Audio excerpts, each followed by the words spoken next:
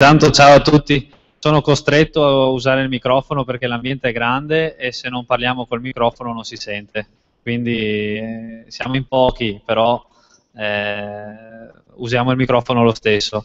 E, mm, faccio fare i saluti al padrone di casa, padrone di casa, perché la, la federazione quando si parla di calcio è sempre padrone di casa. L'avrei già venduto. e io porto il saluto della delegazione a questa meravigliosa persona che ho conosciuto da 5 minuti e che è meraviglioso. Vi, vi divertirete. Mi dispiace che non ci sia tanta gente perché a Rovigo mancherà, mancherà diciamo, di quanto bene lui, lui vi, fa, vi, farà capire e comprendere, perché per me è sanscrito, il tecnica calcistica, ma per voi che siete addetti ai lavori sarà un accrescimento culturale che è quello che il Polesi ne domanda. Ascoltate e vedrete che sarete, alla fine sarete contenti di aver avuto questa opportunità. Ti ringrazio anche per queste trovate che hai avuto delle due giornate, sei meraviglioso, perché non te lo dico così sulla qualità di ragazzo, perché a me piacciono, piacevano, no, piacevano, no, perché a me piacevano ancora le donne, ah, okay. piacevano, ecco, e tu sei un ragazzo meraviglioso e che farai una lunga, una lunga strada con pochi inciampi. Grazie. Grazie.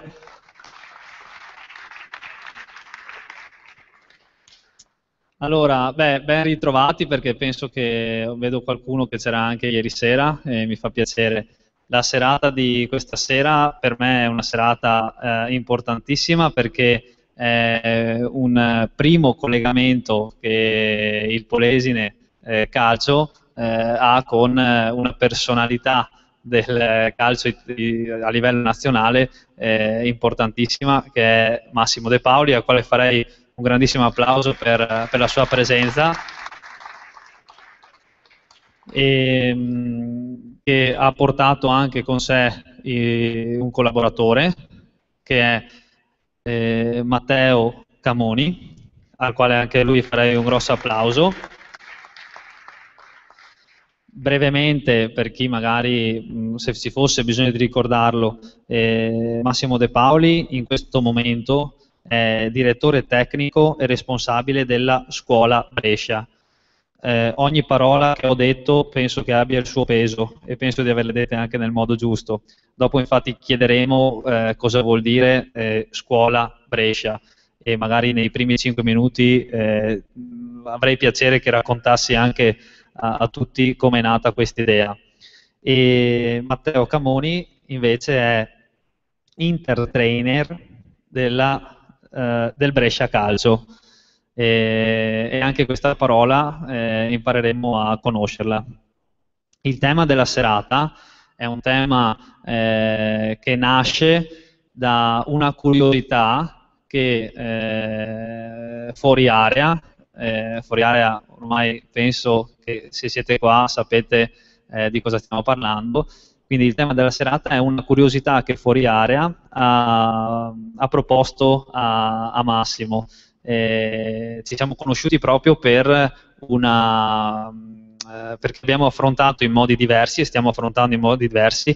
Naturalmente Massimo lo sta affrontando da più tempo e con eh, particolari molto più eh, approfonditi quello, il tema che è quello della, dell'analisi video, cioè come, eh, vedere eh, e cosa vedere soprattutto da, dai video. Ormai ci sono telefonini, videocamere, eh, tutti riprendono le partite, però cosa ne facciamo di questo materiale? Ecco, lui ha cercato di farne un uso eh, adeguato per il settore giovanile e per gli allenatori.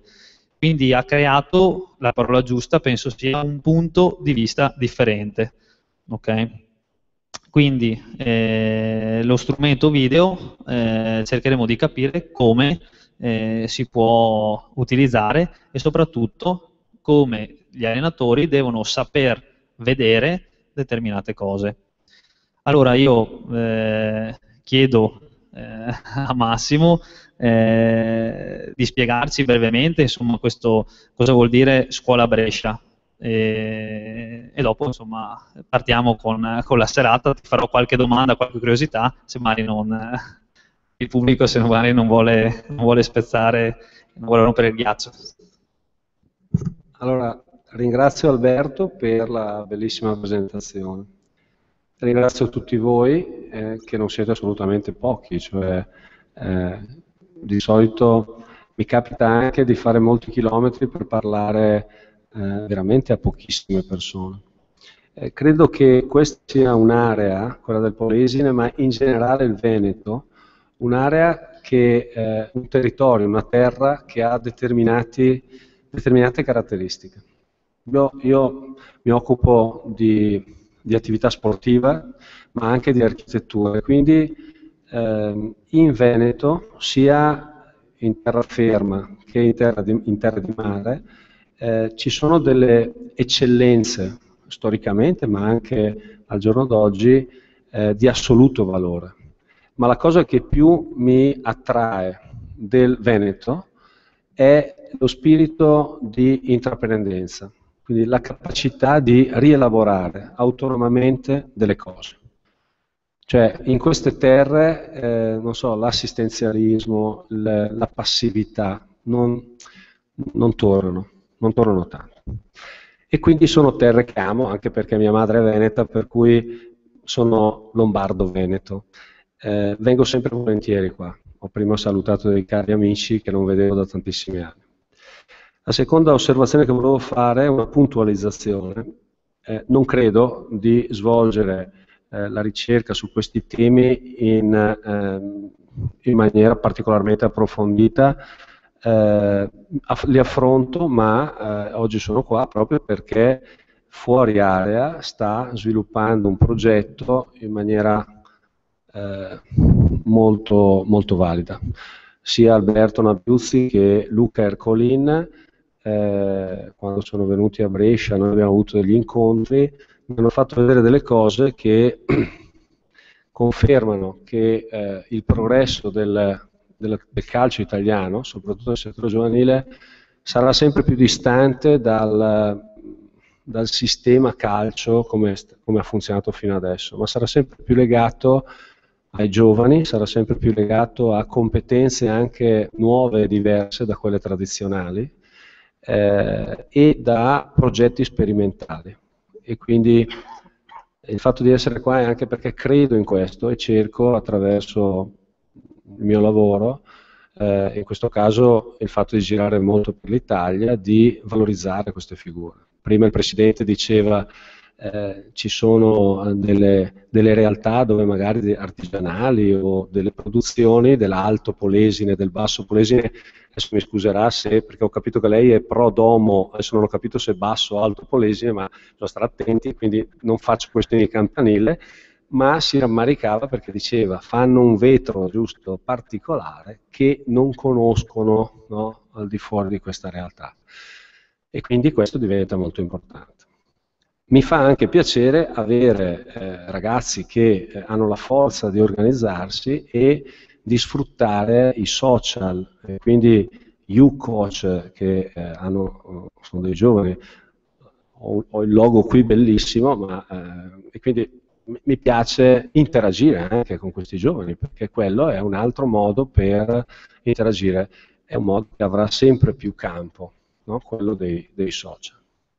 Adesso vengo alla, alla, al tema della serata e alla, alla speranza di interagire con voi, quindi non vorrei parlare tantissimo, vorrei più che altro magari assistere no, a un dialogo, a un'interazione tra me e Alberto, ma anche e soprattutto poter rispondere alle vostre osservazioni, alle vostre curiosità, se sono in grado, o quantomeno no, eh, cercare di arricchire me stesso, no, perché ogni volta che faccio questi incontri porto sempre a casa qualcosa e le cose che mi interessano sono i dubbi, sono le cose che magari non vi convincono. Mi è stato chiesto di mostrarvi che cosa significa scuola Brescia. Scuola Brescia è un po' come porre al centro di una, di una scuola la biblioteca come porre al centro di un progetto la conoscenza. E questa è una cosa quasi impossibile in Italia. Cioè, quando tu parli di queste cose ti dicono ma sei teorico, comunque il calcio calcio è un'altra cosa. Eh, e quindi quando eh, quattro anni fa ho deciso di smettere di allenare i giocatori e di iniziare ad allenare allenatori, ho, eh, ho avuto un colloquio col presidente e il presidente mi disse cosa, cosa vuoi fare? E io dissi voglio, eh, voglio fare una scuola, la scuola Brescia. E quindi questa cosa ha suscitato un po' di ilarità, perché a un certo punto dice, cos'è una scuola? Vuoi allenare, vuoi fare il responsabile, vuoi le, le figure solite? E io ho detto no, io voglio eh, cercare di formare dei giovani, o comunque degli allenatori che hanno voglia di rappresentare poi o di perseguire e di sviluppare il calcio in un determinato modo. E così è nata questa, questa cosa che eh, si avvale adesso di parecchie persone, alcune delle quali vi faremo vedere adesso nell'organigramma, e ehm, alla seconda domanda, vabbè, ma che collaboratori vuoi? E io dissi nessuno. E mi disse perché? Perché se il progetto andrà avanti, i collaboratori dovranno eh, provenire dalla gente formata. Mi sembrava il modo migliore per bypassare, eh, qui c'è gente anche giovane ma anche meno giovane, eh, chi ha un po' di esperienza sa che in ogni comunità sportiva eh, ci sono, come dire, avete presente, no? Non so, eh, precedenti, quindi uno ha delle abitudini, gli amici e quindi per creare qualcosa di nuovo certe volte bisogna veramente fare tabula rasa. Allora eh, ecco perché ho voluto stasera che venisse anche Matteo, perché Matteo rappresenta il profilo del, dell'allenatore o comunque del giovane che può proporre nella realtà Brescia Calcio, ma in generale, potrebbe essere un ragazzo di questi, non sto facendo un discorso di società o di campanile, il calcio in maniera diversa, in maniera diversa, proprio, diversa da come la mia generazione eh, sta gestendo in questo momento questo magnifico sport. E quindi eh, per fare questo devi da un lato eh, avere un metodo e cercare di proporlo una, in una maniera coerente, un po' come se fosse, no, perché poi la terza domanda che mi è stata fatta è quanto dura questa cosa che vuoi fare? Cinque anni, voi capite che con i tempi che ci sono adesso di eh, no, la durata che mediamente ha un allenatore o col, col, la frequenza con la quale le società falliscono quant'altro, cinque anni sono un'eternità. E io sono partito in quella maniera, il prossimo anno facciamo il quarto anno, il progetto è in pieno sviluppo, al di là delle vicende della prima squadra, perché anche questo è importante, la squadra Brescia è autonoma rispetto alle vicende che possono essere buone, cattive e ha determinate regole sulle quali eh, si struttura. Eh, prima di lasciarti la parola ancora, vediamo un attimino alcune figure. Quindi la, la, la scuola Brescia ha eh, un suo presidente che è Fabio Corioni in rappresentanza della proprietà, ha poi eh, come figura di riferimento il direttore eh, sportivo, interagiamo, adesso lì non è segnato, ma interagiamo comunque con la prima squadra e con lo staff della prima squadra, quindi con tutti gli allenatori che si sono susseguiti eh, purtroppo, nel senso il Brescia quest'anno ha cambiato tanti allenatori, la speranza è di avere una sorta di Ferguson che possa dare più continuità, però questo non lo possiamo decidere noi, quindi da Giampaolo fino a Iaconi eh, noi siamo sempre in contatto con lo staff della prima squadra, che significa che sottoponiamo allo staff della prima squadra gli obiettivi di tutte le aree che eh, stiamo perseguendo e che sono obiettivi che hanno la caratteristica di poter essere modificati in itinere. E quindi eh, questi staff rappresentano una sorta di referee esterno col quale noi vogliamo eh, no, eh, avere no, la, il giudizio e le critiche per poter poi modificare e migliorare. Il settore giovanile poi si struttura in un'attività di base, il responsabile è Roberto Clerici e Pietro Strada è eh, il responsabile del settore giovanile, sono le figure che in tutte le società ci sono. Voi vedete che c'è una terza colonna. Ecco, la terza colonna è la scuola Brescia. Quindi la scuola Brescia è una struttura autonoma, centrale, che sviluppa metodo e fissa gli obiettivi minimi da raggiungere, di carattere motorio, coordinativo, tecnico e tattico. di tattica individuale, non collettiva. La tattica collettiva viene sempre sviluppata dal trainer dallo staff della squadra. Come funziona? La eh, scuola Brescia ha degli spazi, non abbiamo una planimetria, ha degli spazi propri e quindi pensate, stavo dicendo prima, a una scuola, a una scuola e all'ora di ginnastica, avete presente?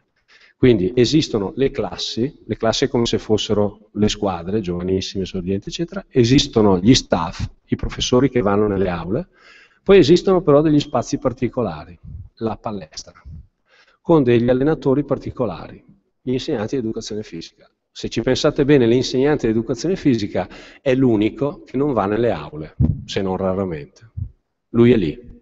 Sono gli studenti che alla campanella su un segnale o a un determinato orario prestabilito, calendarizzato, vanno e fanno l'ora di ginnastica. Da noi funziona così.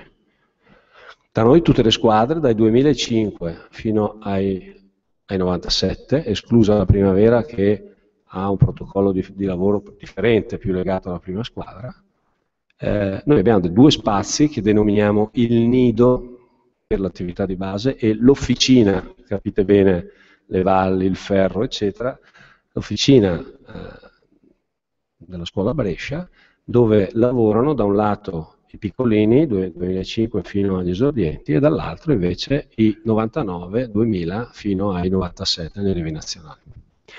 In questi luoghi lavorano eh, trainer differenti da quelli delle squadre. Ci sono due trainer di riferimento, e questi trainer di riferimento sono da un lato Ivan Zauri, che eh, è un allenatore eh, abbastanza, eh, abbastanza, importante, ha lavorato per più di, eh, di 12-13 anni al Cesena Calcio, ha lavorato quasi sempre nella sua carriera su un metodo che conoscerete, molto famoso, che si chiama cover coaching, quindi eh, ha sviluppato un'abilità e una professionalità legata alla gestualità tecnica. E, eh, e Ivan, c'è un curriculum dove possiamo vedere, e Ivan, per farvi capire che cosa fa Ivan. Beh, Ivan eh, cura il gesto, però non fa il cover coaching, non so se mi spiego. Ivan cura il gesto. Curare il gesto vuol dire questo punto, linea, superficie, questo non è cover coaching, questo è il metodo Castello, è un'altra cosa. Questi sono post che trovate su Master Calcio, che è un blog di Coverciano, sul portale, è un portale e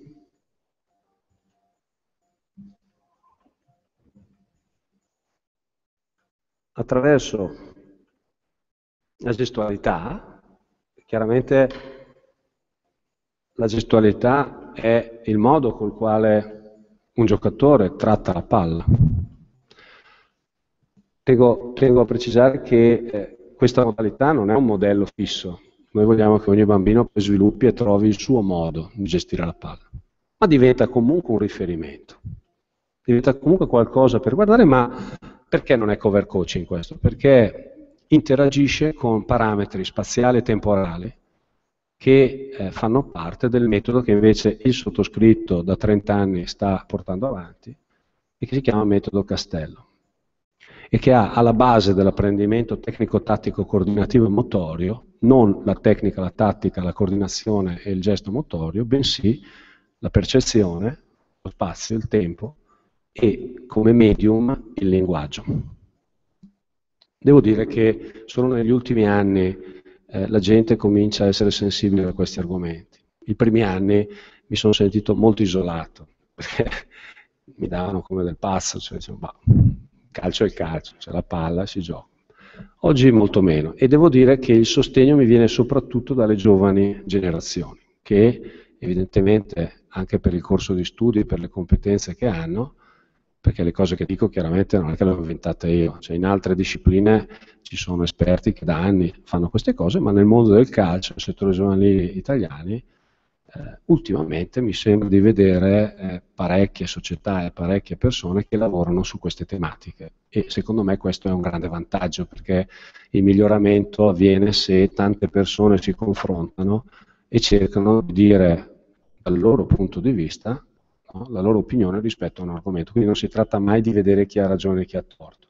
Ognuno sviluppa e il confronto, il proprio pensiero e il confronto, lavorare in rete è fondamentale.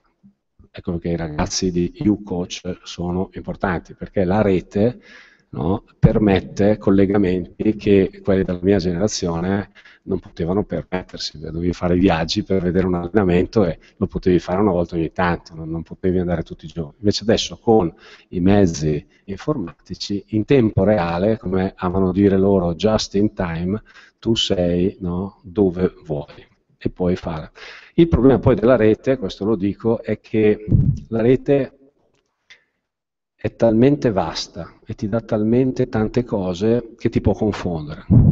Quindi il problema della rete non è la ricerca di informazioni, ma è la selezione di informazioni, i cosiddetti link o comunque avere come una stella polare che ti permetta poi di filtrare le notizie e di ricercare la coerenza del progetto.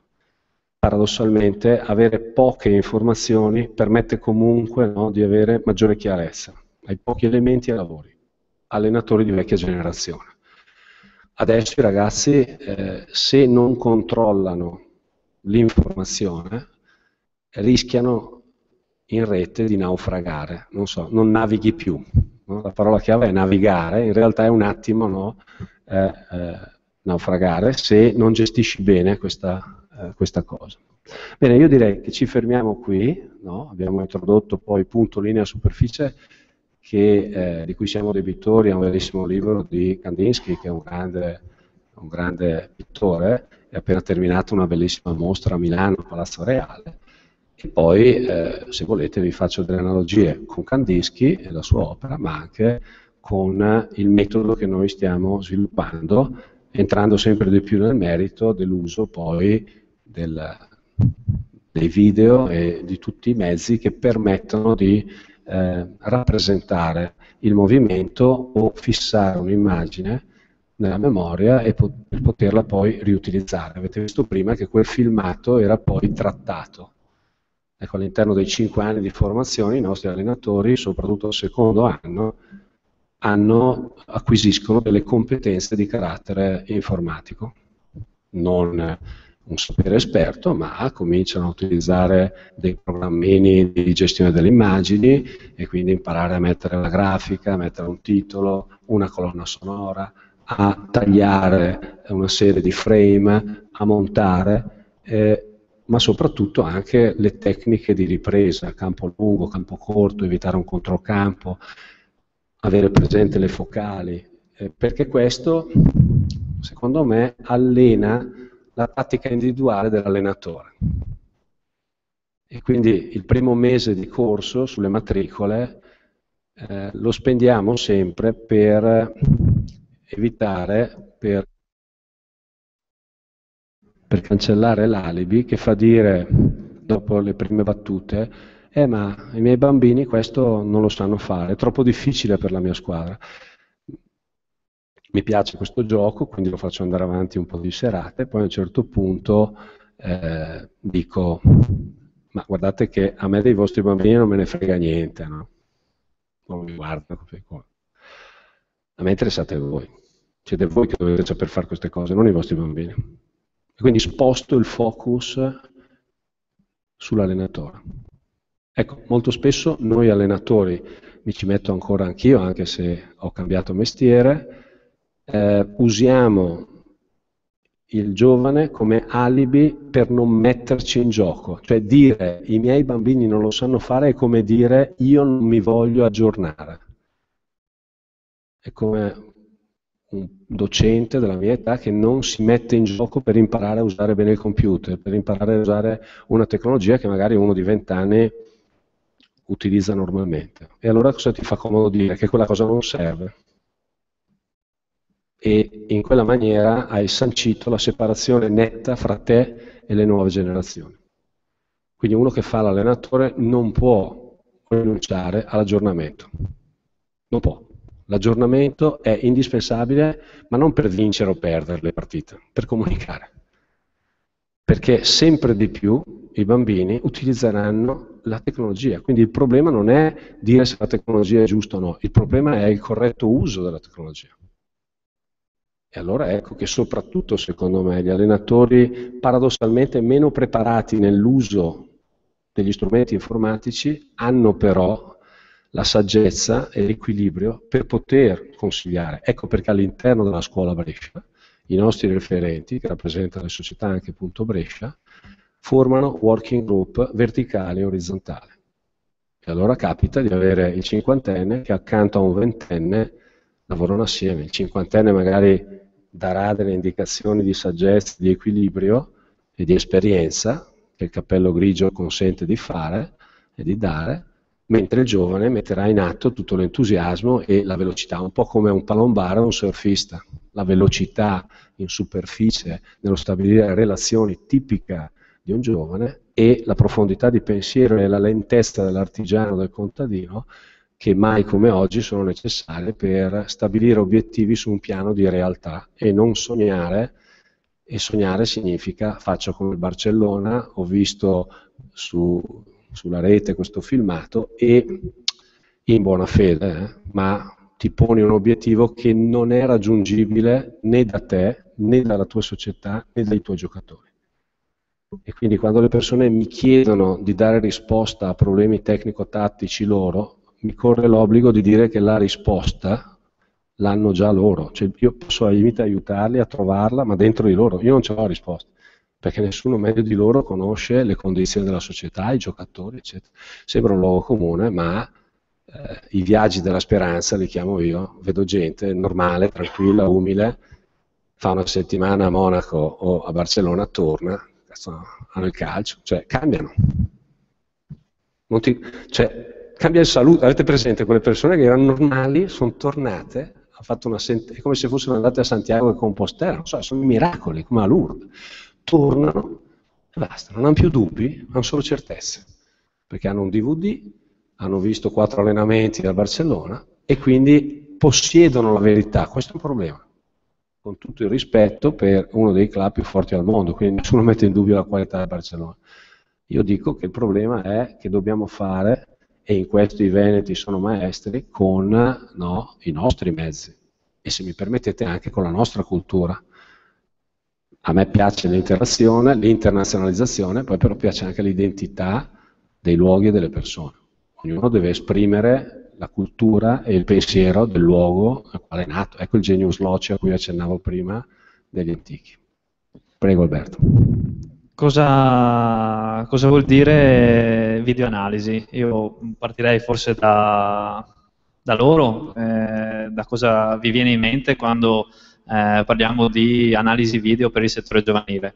E quindi dopo da qui direi eh, possiamo interagire piacerebbe iniziare così, perché comunque eh, la parola analisi video ormai è inflazionata in questo periodo, quindi rapportata ai giovani, boh, eh, chissà cosa vuol dire. A qualcuno che vuole, che ha un pensiero?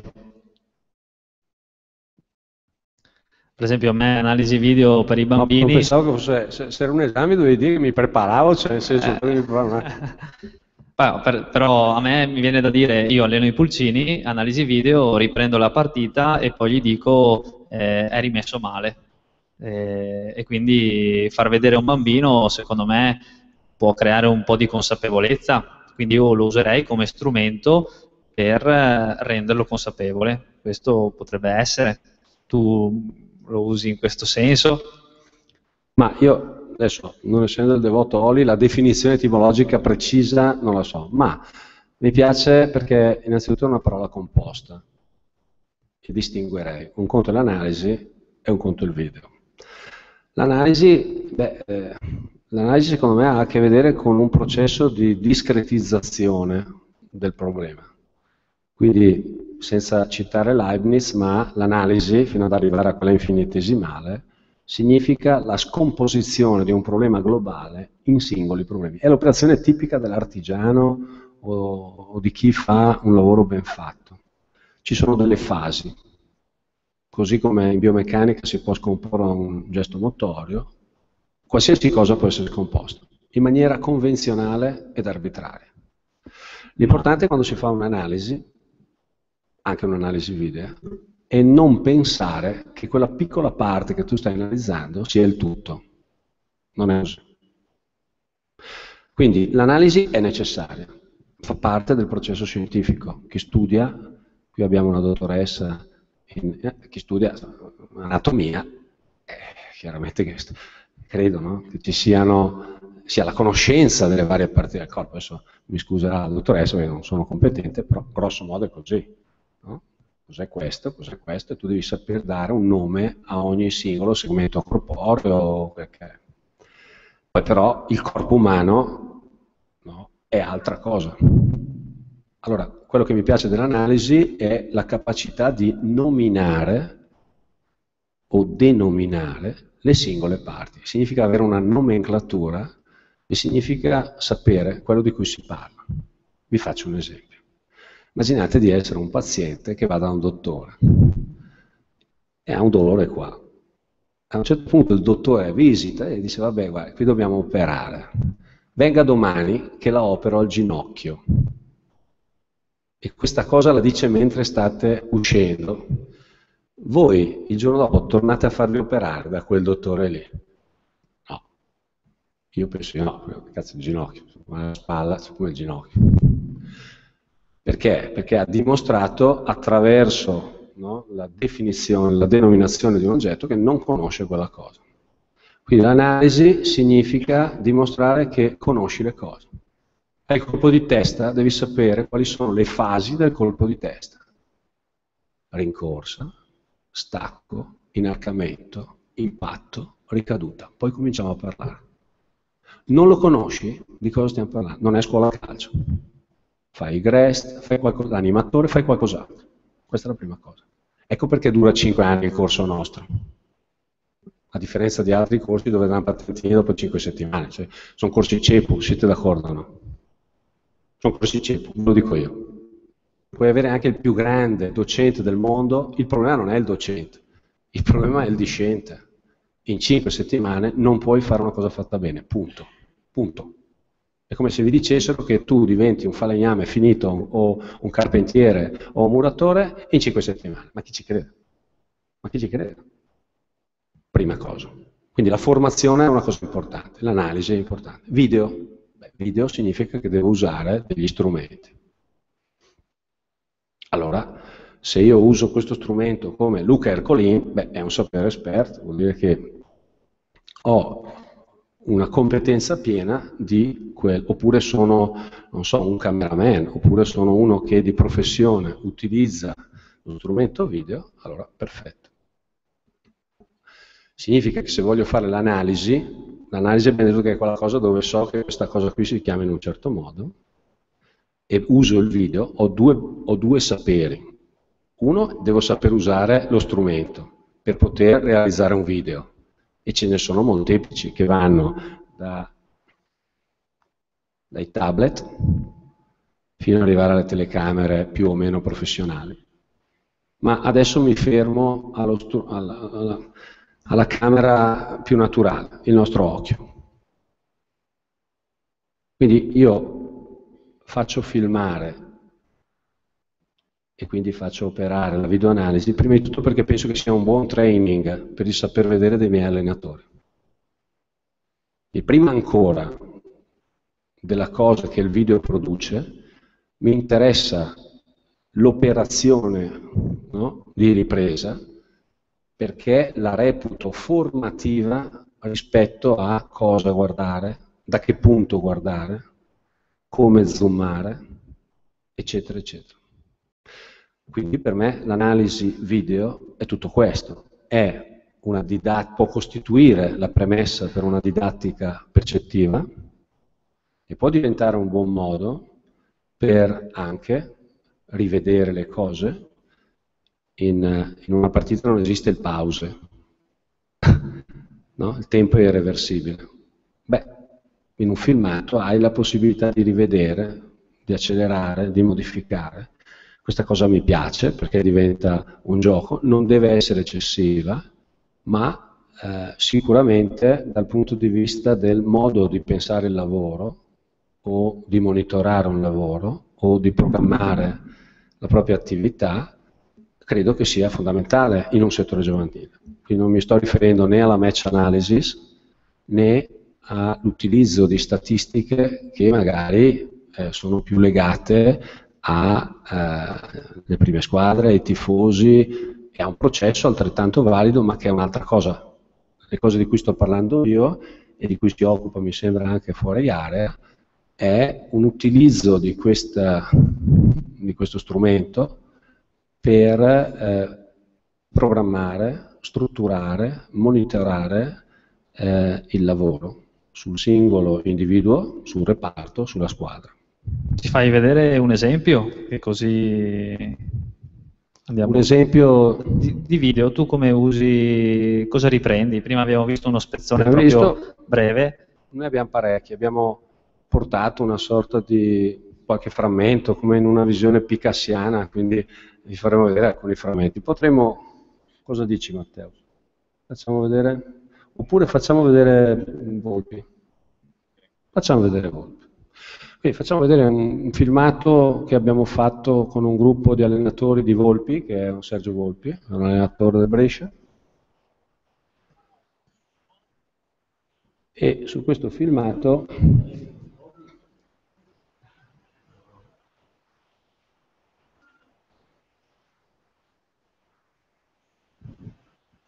Questo filmato si occupa di, noi diciamo B3, quindi si occupa di, perché noi classifichiamo le attività. Le B3 per, per noi sono eh, esercitazioni che si occupano di tattica eh, collettiva o di reparto. quindi il filmato in questo caso è un filmato, non è zenitale, ma eh, chiaramente deve essere fatto da una certa posizione che consente di vedere lo spostamento e l'occupazione dello spazio che in questo momento è, e qui poi vedete eh, tutto il lavoro che sul filmato viene fatto, che è la parte poi più interessante. Quindi tu non fai delle misure a video, quindi tu non è che ti interessa eh, la distanza tra un giocatore e l'altro. L'abbiamo fatta vista prima la distanza. Esatto, quando la distanza è sulla parte diciamo Beh, analitica. Noi abbiamo più video, abbiamo video A, video B1, video B2, video B3, video C, video T, abbiamo diverse attività, quindi se eh, questa attività è un'attività che ha un carattere tattico, mi interessa in questo caso non un valore puntuale, ma mi interessa magari un valore più olistico di insieme, di occupazione dello spazio. Quindi magari mi interessa sapere magari la superficie o la posizione che un giocatore può occupare, cose che posso gestire tranquillamente con un Global Position System, un GPS, ci sono ditte che lo procurano e quant'altro. Laddove invece vado a fare discorsi diversi, come nel primo filmato che ho fatto vedere, beh, allora lì magari parlo di frequenza, la frequenza per esempio è il numero di tocchi che all'interno di un'unità di spazio il giocatore riesce a effettuare, allora lì, come ho fatto vedere prima, c'era un orologio, c'era un numero di tocchi e ci sono i parametri che vengono subito evidenziati in una determinata maniera. Eh, in questo caso però tengo a precisare che eh, a noi interessa molto la velocità con la quale queste cose vengono fatte. Noi discutiamo di solito nella nostra scuola il lunedì sui filmati delle partite della domenica o gli allenamenti della settimana prima, quindi eh, tutta questa operazione viene fatta dai eh, ragazzi che partecipano alla scuola. Quindi se, non, se, se ho capito bene, prima, adesso io magari mi immagino, adesso che bello vado a riprendere la mia squadra, però in effetti prima devo capire dove mettermi a riprendere la mia squadra e infatti, soprattutto cosa voglio riprendere. Quindi, eh, infatti ho detto che dura 5 anni e ho detto prima che queste cose vengono fatte il secondo anno, perché il primo anno devi imparare a capire quali sono le strategie, le cioè, adesso non so se avete tempo, io vi spiego anche tutto il corso, però diciamo che se dura 5 anni perché ogni anno eh, cerchiamo di dare quelle competenze, in questo sono abituato dalla scuola, quindi è chiaro che non mandiamo uno che non sa cosa filmare, uno che ha eh, il compito di filmare vuol dire che ha i prerequisiti per poter filmare. Poi se volete vi do tutte le informazioni sul nostro programma e sul corso. Quello che è importante, volevo farvi capire che eh, per me è importante usare questa cosa per migliorare la percezione degli allenatori, cioè chi filma non è che da grande fa il cameraman, Chi filma in quel momento sta facendo, è come uno stagista, no? sta facendo un training attraverso una percezione immediata e si abitua a usare una cosa che poi magari potrà utilizzare con i propri giocatori, perché quel, fi quel filmatino lo smonta, lo elabora, lo inserisce in un social, lo spedisce al suo giocatore e a differenza di come faceva la mia generazione che dava una pacca sulla spalla, doveva aspettare il martedì, loro in tempo reale possono comunicare.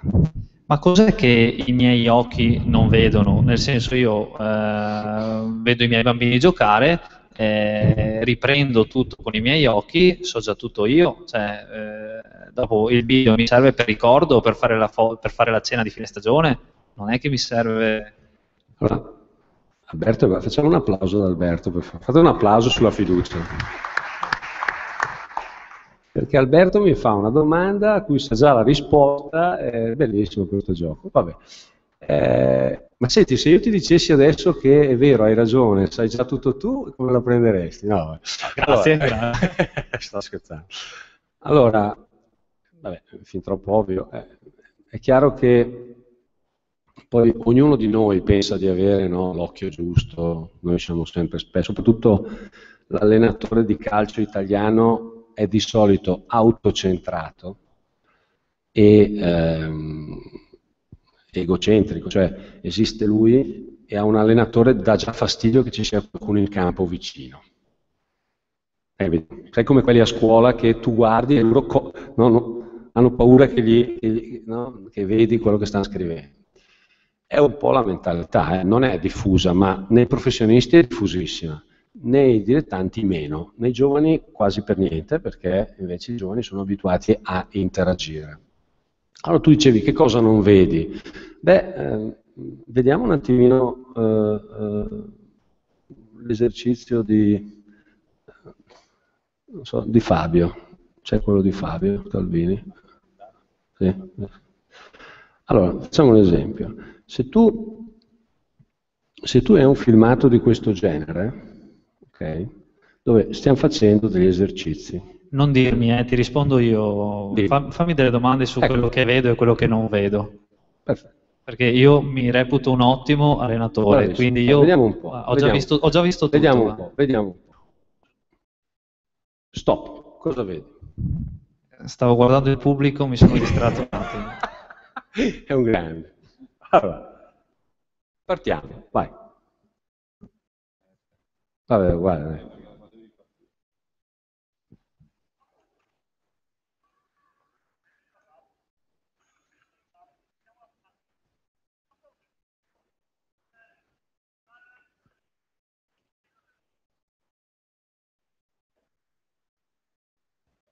Stop, che cosa vedi?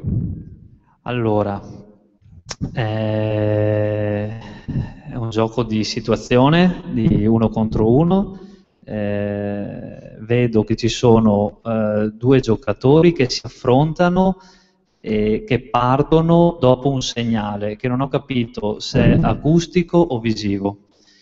E, vedo che c'è qualcuno che arriva prima, c'è qualcuno che arriva dopo, vedo che l'obiettivo è il gol, eh, però non riesco a, a capire eh, dove devono segnare, se in entrambe le porte, se solo in una. Eh, non riesco, boh, non ho visto per esempio con che piede hanno fatto gol, con che parte del piede hanno toccato la palla, però... Sì. C'è qualcun altro che vede qualcos'altro? Tra i tanti deficit ho anche quello uditivo, se poi... Ci sono due porte diverse, di diversa... Bravo Bravo, due porte diverse, qualcun altro? Ecco, io questo per esempio non l'avrei detto. Bravo, due porte diverse. Non è che c'è la risposta giusta, eh? era per vedere. Allora, Esatto, esatto. Quindi in questo tipo di esercizio, che è un'altra attività ulteriore, eh, L'obiettivo in questo momento la qualità non è tanto l'esercizio, ma ehm, se io fossi un allenatore, chiederei che cioè, a, che a, che progressione, fa riferimento, cioè questa, questa cosa, cosa ha prima e cosa ha dopo. Questo valore relazionale manca. Ma manca anche nelle società professionistiche importanti. Vedo che formano le, i propri allenatori delle società fidelizzate inviando PDF dicendo quello che devi fare, trattando come degli stupidi i propri collaboratori. Quindi quello che a me interessa è che gli allenatori, in questo caso Fabio Scalvini, che è un ragazzo come Matteo Camoni, che sta frequentando il quarto anno, il prossimo, della scuola, è un ottimo allenatore, è un allenatore dei giovanissimi eh, A del GE di calcio, che è una società fidelizzata, ma è anche nello staff del Brescia. Non l'abbiamo rubato al Ghedi, abbiamo chiesto al Ghedi se potevamo usufruirci di questo ragazzo che nei tre anni ha dimostrato buone capacità. E quindi questa è un po' la logica. Beh, che cosa vedo? Io vedo la cosa più importante, che è quel timer che c'è sopra. C'è un tempo.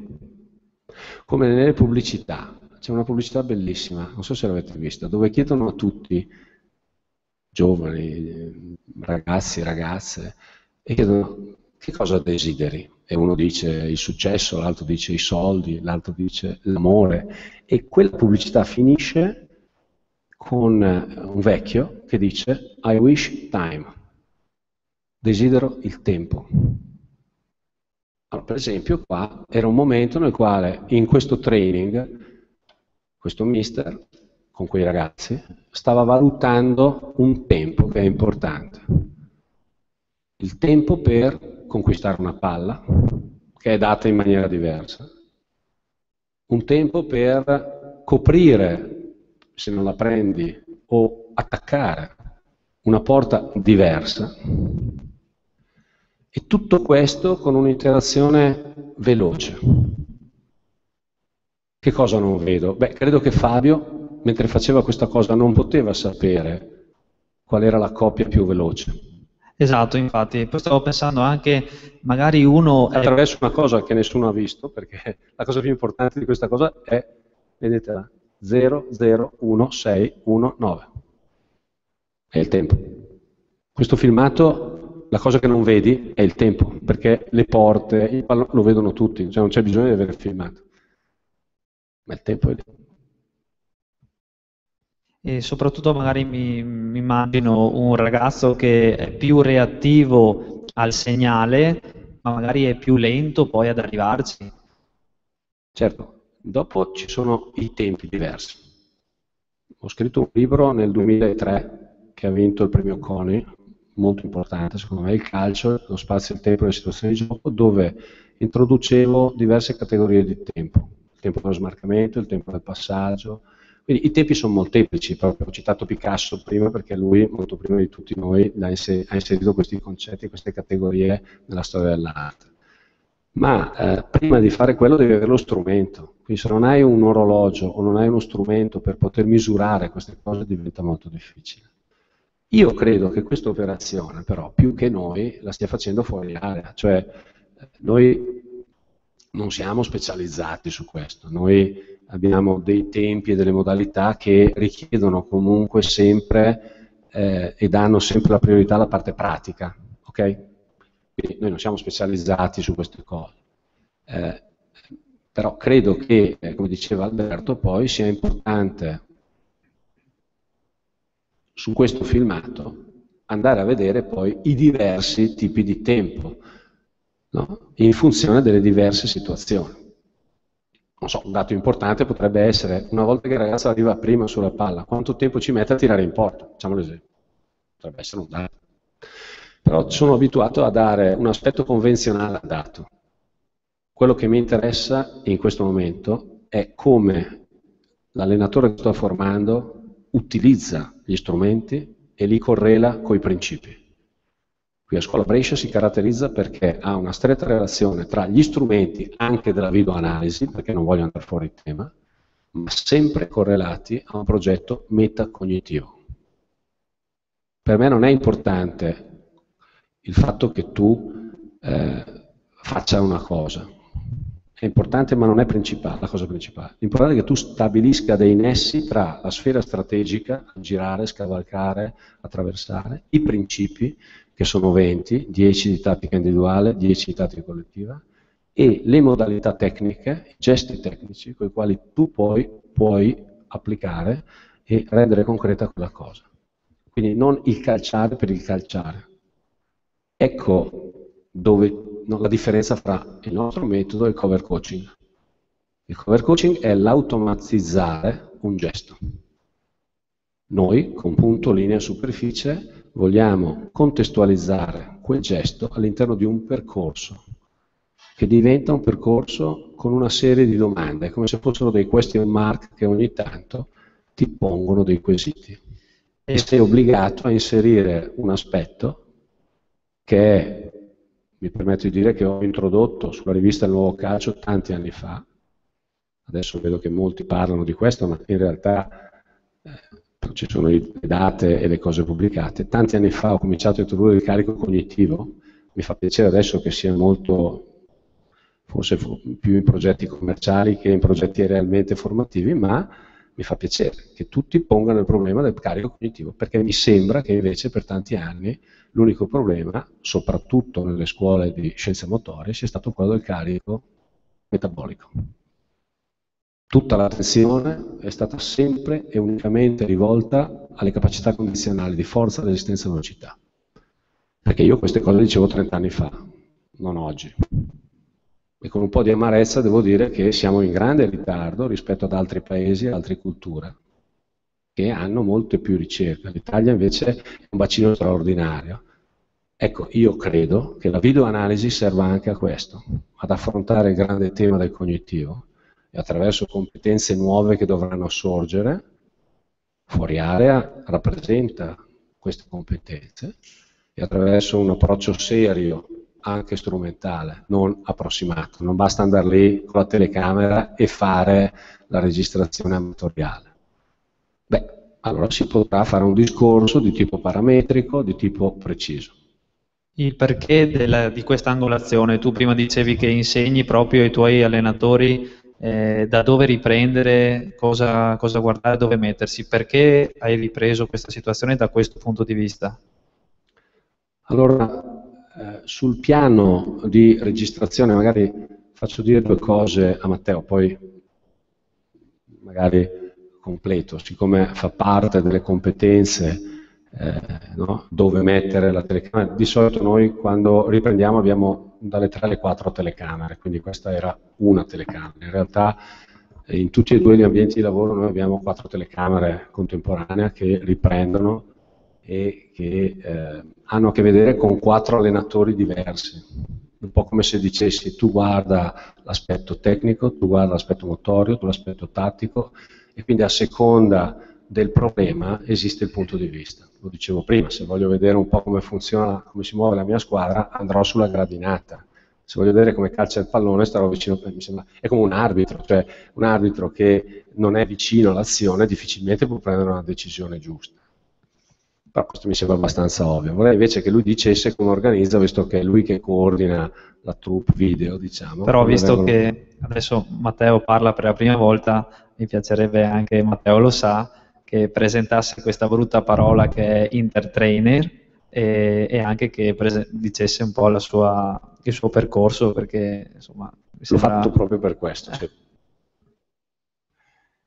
Eh, buonasera a tutti innanzitutto tanti si chiedono il perché di questo nome e diciamo la verità è anche volutamente abbastanza criptico. È stata una scelta che ha fatto Massimo, che, che è nata un po', assieme, insomma la figura ovviamente l'ha ideata lui, poi ha ideato anche il nome e c'era la, la consapevolezza che non si capisse di, di, cosa, si stava, di cosa si stava parlando. Eh, nello specifico, eh, intertrainer vuol dire l'allenatore che sta tra gli allenatori. Io ho la, la fortuna, perché secondo me è una fortuna, mentre magari qualcuno preferisce avere la propria squadra, avere i suoi giocatori, eccetera, io al momento, perché comunque eh, sono, mi sento comunque anche uomo di campo, non ho una squadra mia, ma ho tutte le squadre, perché eh, ho la fortuna di interagire con tutti i bimbi e i ragazzi del settore giovanile del Brescia, quindi dai 2005-2006 fino ai 97, nelle attività che riguardano la scuola Brescia e questa è una di quelle. Eh, faccio velocissimamente un accenno sul, su come sono arrivato qui perché poi volevo fare, tornare un attimo a bomba sul perché delle, delle analisi, delle, di questo tipo di inquadratura, di questa modalità.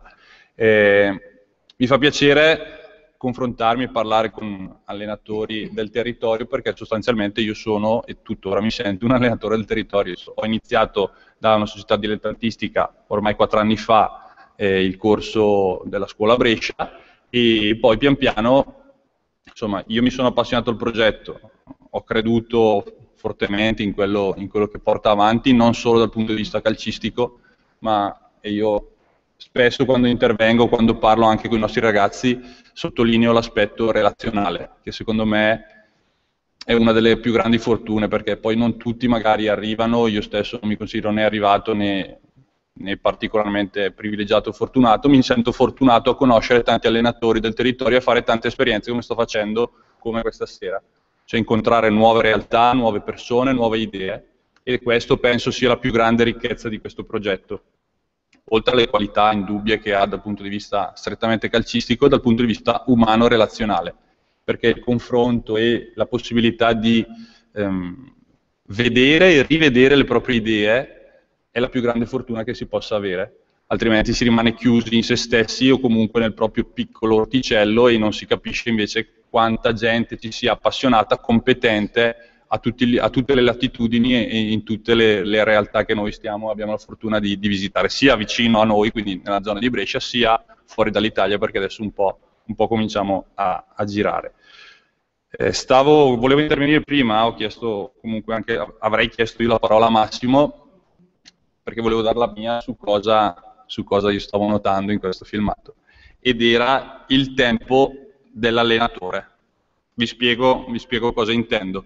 Eh, all'interno delle, delle, sessioni di lavoro della scuola Brescia noi lavoriamo su sessioni di 30 minuti con i vari gruppi che vengono da noi e all'interno di questi 30 minuti ci sono quattro sottosessioni da 7 minuti, cioè c'è un'intermittenza tra i vanzali, in questo caso facciamo l'esempio del nido, cioè da una parte i vanzali, da una parte gli assistenti più sottoscritto che lavorano sulla parte del metodo e ogni 7 minuti ci scambiamo i due sottogruppi di ragazzini, quindi mettiamo, arrivano in 15, 8, c'è una prima parte iniziale tutti assieme di 7 minuti, poi 8 da, no, da una parte e 7 dall'altra, poi si invertono e poi finiscono tutti assieme.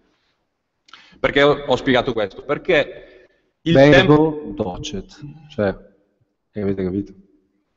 In maniera tale che ci devono essere eh, allenatori che sanno lì dentro, ci sono allenatori che lavorano in un piccolo spazio, con poco tempo, e fanno tantissime cose.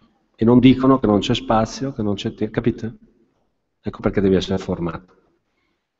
Perché un allenatore normale direbbe c'è troppo poco spazio, ci sono troppi bambini, ma me li lasci così poco. No, sono rapidi e invisibili. E quindi questa intensità mi piace. Ecco perché il tempo poi è tanta roba. Però scusa, continuo perché stavi dicendo... Ho quasi ultimato. È proprio il tempo dell'allenatore, eh, perché mi sono accorto, e ci siamo accorti, con i ragazzi ne parlo spesso, che su sette minuti, se uno impiega due minuti, due minuti e mezzo a spiegare un esercizio, è già quasi tempo di cambiare. E quindi ci stiamo abituando, ci stiamo allenando a essere più efficaci anche da quel punto di vista, avere una comunicazione più rapida, avere una, una comunicazione più mirata e a stare nei tempi. Quindi c'è un tempo che non si vede qui, ma che è il tempo della natura, che conosco io, diciamo questo è un filmato dimostrativo, ma che conosco io perché lo sto vivendo. E spesso facciamo fatica, sforiamo, stiamo troppo lunghi, mi dicono, eh ma dobbiamo ecco, cambiare. Sì. Per, per fare questo, non è come dirlo, per fare questo e per farlo costantemente, tutti i giorni dell'anno, su tutte le categorie di un settore giovanile importante come quello della Brescia, non è così semplice. Perché non basta formare chi andrà in quel punto, bisogna anche interagire con chi deve darti i giocatori, cioè gli staff. E noi abbiamo il vanto di dire che i ragazzi sono sempre puntuali. Se sono sempre puntuali vuol dire che questo tempo ci siete che è dentro e che regola l'attività è rispettato anche dagli staff.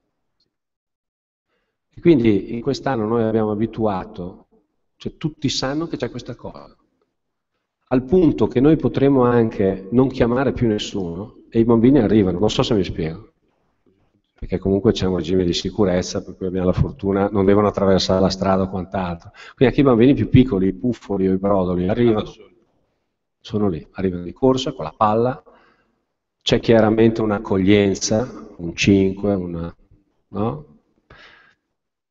Il linguaggio, la metafora, la storia, la parola, eccetera, eccetera, e poi l'attivazione subito. Quindi i bambini quando entrano lì sanno che si lavora, non si parla, c'è qualcosa da fare c'è qualcosa da fare. C'è quindi tutto l'aspetto della ripetizione, del muro antico, non so come dire, della forca, che è stata rottamata un po' troppo presto, secondo me. Però è chiaro che i cultori del globale, come insomma, analitico, ripetitivo, nozionistico, calma, calma, perché poi a lavorare per progetti sempre col globale, nel linguaggio hai la gente che mette la senza H, ecco l'analisi, se fai troppe cose sintetiche, globale è sintesi, hm? non va bene. La virtù sta nel mezzo, quindi ci vuole un po' di analisi, analitico, e un po' di sintesi situazionale, e magari anche un po' di gioco, si ride. È chiaro che in questo momento, quel tempo breve, è dedicato a una cosa che magari è più globale, più situazionale. Non è sempre così, ci sono altre volte, ci sono altri filmatini dove possiamo far vedere qualche, eh, ma, qualche puffo che fa. Massimo, eh ti, eh, ti, faccio salutare dal Presidente che deve... Presidente, che deve se andare. mi permetti mi saluto perché l'alto, poi, l'alto polesine... No, no non, mi, no, non mi fermo i saluti così, che è una roba da niente. E do un rimprovero qui a, a Nabiusi perché ieri sera meravigliosamente bene. Questa sera eccelso. Allora io dico che questo pubblico qui e voi meritavate l'Accademia dei Concordi perché sì, la sala Ratti Accademia dei Concordi, ma lo dico non per piaggeria, lo dico perché avete portato alla conoscenza di queste persone che sono arrivate qui un calcio che non è quello di dare un calcio al pallone o di farlo, ma si, il pallone si può anche accarezzare, il pallone si può fermarsi e tenerselo sotto i piedi, ma soprattutto le, il perché si fa un'organizzazione che poi porta a chi fa calcio veramente come deve essere fatto. Io architetto la saluto e saluto anche il suo collega lì. E, ecco, eh, ma questa non è, piagge, non, è, non è piaggeria, è la verità. E voi vi sareste meritati l'Accademia dei Concordi. Grazie. Grazie.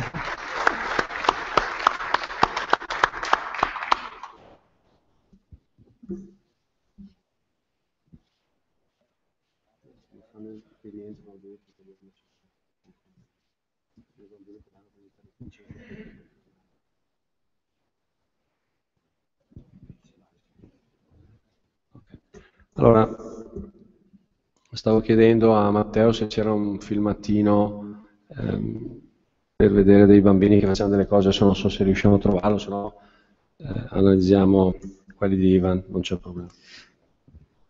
Comunque stavo dicendo che, eh, che quindi l'acquisizione della tecnologia e eh, un, il tentativo di saper vedere senza, al di fuori di qualsiasi presunzione, perché poi ognuno sa vedere, no? Passa attraverso diverse, eh, diverse modalità. Una modalità è questa, cioè vuol dire che i ragazzi provano all'interno dei 5 anni a filmare, un po' a filmare i ragazzi del Brescia, ecco, stop, vediamo, quelli più piccoli non ci sono, un po' a filmare quelli del Brescia un po' a filmare quelli della propria squadra. Perché poi attenzione, cosa facciamo con questi filmati? È importante questo, perché sennò eh, eh, non si capisce la costruzione.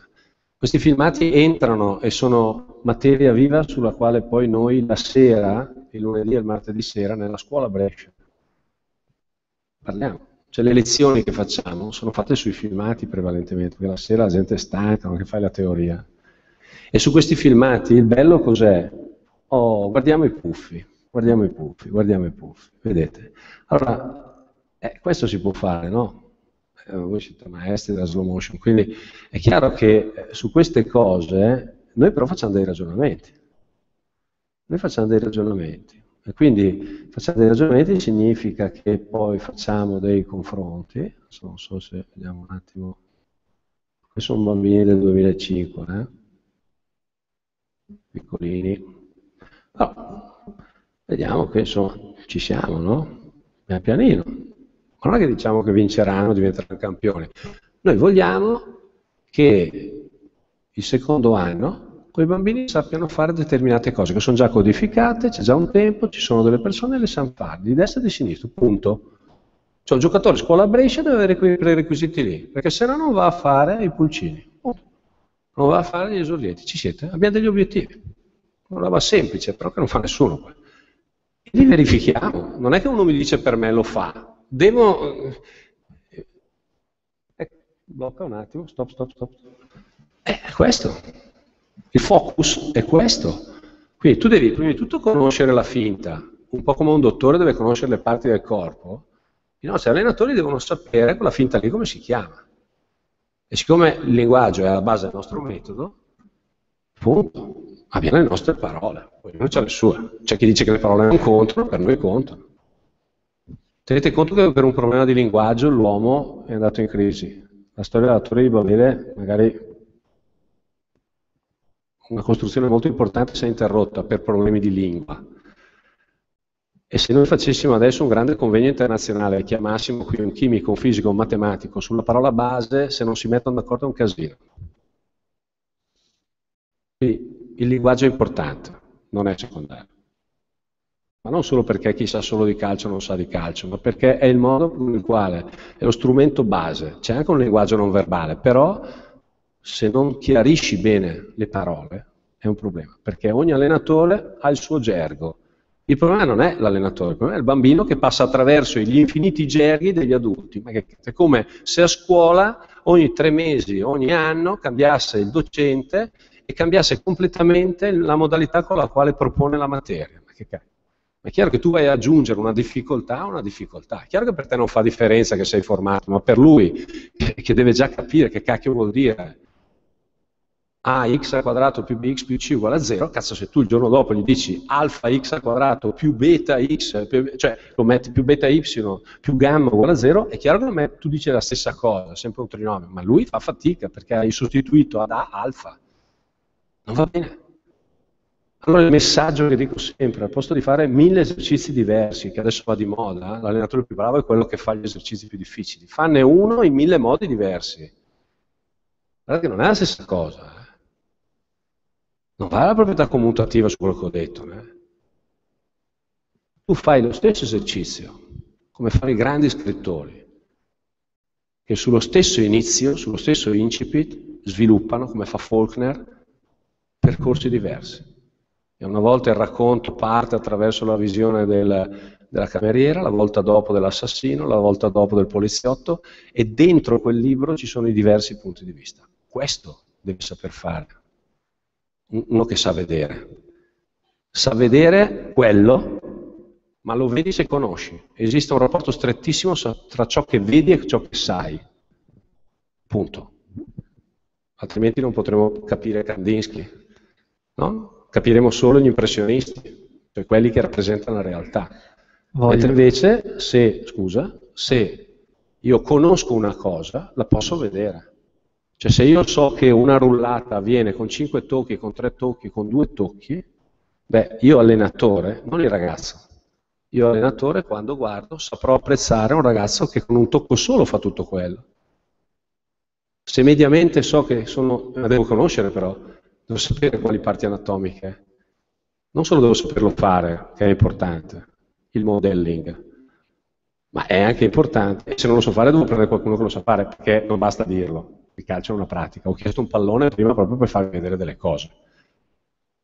Al punto che, oltre ai cameraman, ci sono anche gli assistenti. Scalvini è un assistente, non è un trainer. Zauli è un trainer. Cristi è un trainer. Gente che ha più di dieci anni di professionismo alle spalle. Il maestro. Il giovane, al primo e secondo anno di scuola, Matteo, sono assistenti. sono giovani che si stanno formando. E l'ordine non è gerarchico perché è rispetto all'esperienza. L'esperienza è importante. Allora il giovane che magari metodologicamente è più preparato sta vicino a Zauli perché? perché impara lui, perché lo fa anche lui insieme ai bambini, il gesto. E sono tanti i gesti. E devi farlo tante volte, col destro e col sinistro. Ecco, questa cosa qui è un po' la Bauhaus, cioè fai le cose oltre che a dirle. Allora mi piace dire, non dirmi quello che pensi, fai quello che dici. Non mi interessa che parli. Prendi la palla e mi fai vedere. E poi prendi 10 bambini, 20 bambini, ti do 5 minuti, ti do uno spazio ristretto e lavori con grande intensità. E poi cambi il layout, e poi costruisci la progressione, e poi mi spieghi le cose. Tutto questo al quinto anno deve avvenire, non al primo, con calma. Con calma. E quei filmati che facciamo la domenica, il lunedì sera e il martedì sera, in tempo reale, vengono discussi fra gli allenatori e poi arriva anche Possanzini e poi arriva anche Javorcic, e poi arriva anche Volpi. E quindi un giovane non solo vede e partecipa, non solo studia e interagisce con gli interpares, ma ha anche la possibilità magari di avere un'interpretazione sul movimento di un attaccante di Possanzini che l'anno prima, se mi permettete, giocava ancora, un giocatore di livello. O Volpi, se non lo conoscete, è un giocatore che ha giocato in Serie A. Questa è la scuola Brescia. E abbiamo il filmato di Possa fallo andare. Tutto questo è anche il video. Il video diventa sezione e-learning, il video diventa anche promotion, perché no? Il video diventa anche i filmati che abbiamo fatto e abbiamo mandato alle famiglie. Non so se lei qua, poi li faremo vedere. Ecco perché vi dico che c'è tanta roba. Noi usiamo il video per tante cose. E quindi ecco perché dico, non abbiamo un video noi, tante tipologie di video, perché? Perché il metodo che stiamo portando avanti ci dà la possibilità di avere diversi punti di vista, ma quello che fa utilizzare bene lo strumento è il metodo, non so se mi piace, noi abbiamo chiaro il metodo, perché è chiaro che fino a quando tu copi gli altri e, fai, e scambi un esercizio, non so, penso ai giochi di posizione o quant'altro, per il metodo è un problema, quello non è un metodo, quello è un esercizio, un metodo è una cosa diversa. Ci vuole più chiarezza, cioè allora se hai un criterio con il quale lavorare, devi avere dei principi. I principi ci sono, li dice Coverciano. Quelli che vi ho detto, i 20 principi non li inventiamo noi. Eh. I 7 gesti tecnici sono quelli di Coverciano. C'è stato qui ieri eh, eh mister Olivieri, se li chiedevate, diceva sono 7 i gesti tecnici, perché sono 18. E quindi vedete che qua, nel momento stesso in cui operiamo delle cose, questo qui, ci sono i giocatori di mister Possanzini, che è quello lì. Non so se è già passata l'intervista, e dopo deve arrivare. Adesso vedete che c'è questa cosa, qui si lavora sul concetto di ampiezza, sul diretto avversario. Noi abbiamo codificato tre tipi diversi di ampiezza, c'è un numero sul notiziario tecnico, se volete, dove ho scritto tutte queste cose. Sì, si fa sentire. E poi c'è l'intervista, e anche questa è... Lo spazio determina chi è senza palla. Quindi volevo dire, attaccato appunto con la palla scaricata, i semplisti per, per dar tempo al suo compagno di darmi la palla, quindi si creava uno spazio per toccare. Si lavora perché, come dicevo, l'attaccante che entrato lì può dare veramente fastidio al difesa. La difesa perché va fuori dalla, dal cono offensivo quasi del, del, del centrale e il terzino ha una scelta da fare, questo stretto, quindi dico di smarcarsi non troppo lontano da lui, perché se va troppo lontano fa mancare due per la terzino, invece quello del terzino avversario fa solo scelte.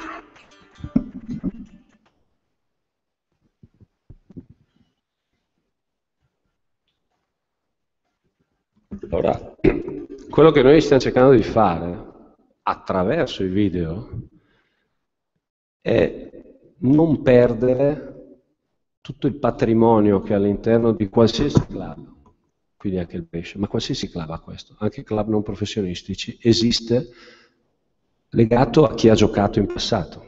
Mi è capitato oggi, la fortuna, Alberto mi ha dato la grande soddisfazione e fortuna di vedere straordinari appunti di Buso, straordinari, straordinari. Ecco, è un peccato però che questi appunti siano come visibili ex post, quando magari la persona è mancata.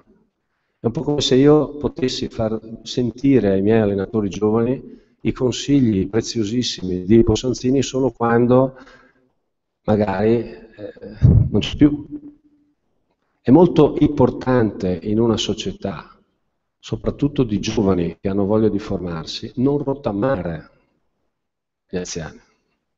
Perché gli anziani hanno comunque una cosa, hanno commesso già tanti errori e questo è il grande patrimonio dell'anziano. Quindi quantomeno se non ti saprà dire come usare il computer, perché tu lo rottami per quello, eh? tu giovane lo rottami per quello. Lui ti può dire guarda che quella strada lì non va bene. E in un periodo dove le strade sono infinite in rete, avere qualcuno che ti dice dove ci sono i funghi, non so se mi spiego, non è male, perché se no rischi di andare nel bosco e continui a girare, all'inizio sei felice, poi però porti a casa niente, hai capito? Non porti a casa niente, perché continui e io vedo che c'è tanta gente che perde tanto tempo. Lo dico non nel calcio, all'università. Vedo studenti che continuano, fanno mille cose, dici ma l'obiettivo qual è? Non portarmi, la parola chiave è download o plagio, quindi ti portano le cose dicono che le fate loro invece le hanno scaricate, le fate qualcun altro. E poi ti portano 500.000 cose. E tu gli dici, dimmi quattro cose, ma che siano quelle che contano, che è un problema di selezione. Quindi la videoanalisi fatta bene è quella che riesce come un settaccio a filtrare e a sedimentare, no? a, far, a, far, emergere le cose importanti di un gesto tecnico, di un gesto motorio e quant'altro. Sul principio dell'efficacia. Dell'efficacia. E quindi questa cosa qui la devi filtrare con gente che ha fatto quella cosa. Per cui per me il riferimento più importante in una società, non so, di promozione non è il Barcellona o il Brescia o un professionista, è chi ha giocato in prima squadra in quella, in quella squadra lì. Perché chi ha giocato tanti anni in quella squadra lì ti sa dire quali sono i problemi di quella realtà lì, di quella categoria lì. E l'obiettivo principale di una scuola calcio, che ha una prima squadra, è quello di portare il maggior numero di persone in prima squadra. Se poi qualcuno gioca nel Real Madrid, tanto hai guadagnato. Ma l'obiettivo minimo, per me, è il numero di giocatori che giocano nella tua prima squadra. E gli altri devono essere i tifosi di quella squadra. Non so se mi spiego. Quindi il primo obiettivo deve essere identità. È quello dove manchiamo. I tedeschi sono bravissimi in questo, gli irlandesi sono bravissimi, gli inglesi sono micidiali. Quando ho fatto i mondiali di categoria a Manchester, la cosa che mi ha impressionato è che non è possibile che un giocatore dello United tenga il City, non è possibile, è un postulato. E viceversa. Quando ho allenato l'Inter, se chiedevate alla mia squadra, quella che ha vinto lo scudetto nel 91, su 21 giocatori, 22, chiedevate a che squadra tenete, c'erano 3 che tenevano al Napoli, 2 alla Juve, 5 al Milan, 1 all'Inter, 10 al... Cioè, so se mi. Noi lo chiamiamo democrazia. Ok, sarà anche bello, però sapete, quando vedi i bambini piccoli, lo stadio intero con la maglia del, del Manchester United e quando senti i tifosi del Liverpool che cantano, e cazzo ti vengono i brividi perché tu dici questi sono orgogliosi, come gli alpini che ho visto a Pordenone. E quell'unità te la dà solo un senso di appartenenza. Allora, questo bisogna costruirlo lo costruisci anche attraverso la memoria di quello che è stato. In questo caso il filmato, la ripresa è imbattibile. Se la, se la sai archiviare, se la sai gestire. Ecco perché nel corso noi cerchiamo di formare, seppur in maniera semplice, i prerequisiti di base non solo per avere un filmato che poi sennò diventa veramente una cosa che occupa memoria e basta, ma quel filmato deve subito avere un utilizzo immediato una rielaborazione immediata e deve entrare a far parte del modus operandi dell'equipe. Io non so se qui abbiamo i filmati per i genitori, ce li abbiamo. Guardate, a Natale noi abbiamo, ogni tanto mandiamo i filmati e quindi facciamo delle riunioni, spieghiamo gli obiettivi e a un certo punto I genitori si vedono arrivare a casa un filmato di questo tipo, sono brevissimi. Eh? Quello di Natale, dai. No, Natale, bello. Natale, Natale bello.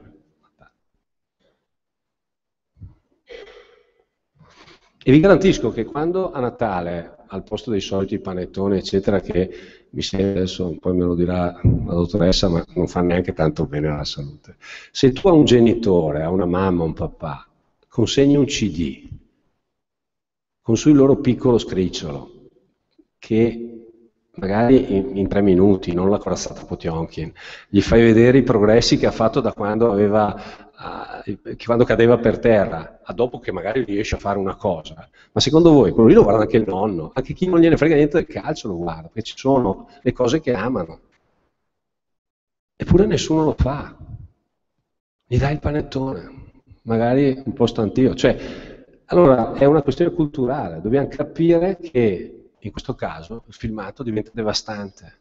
Perché? Perché stabilisce un rapporto affettivo, perché fa capire a quelle persone, soprattutto nei dilettanti deve avvenire questo, fa capire il lavoro che stanno facendo questi allenatori che magari tu in buona fede critichi semplicemente perché non l'hanno fatto giocare, non l'hanno tolto, per delle stupidate. Allora sei, il problema non è lui, il problema siamo noi che dobbiamo far capire quello che stiamo facendo e il mezzo audiovisivo è straordinario per questo, perché non c'è bisogno di dirlo personalmente.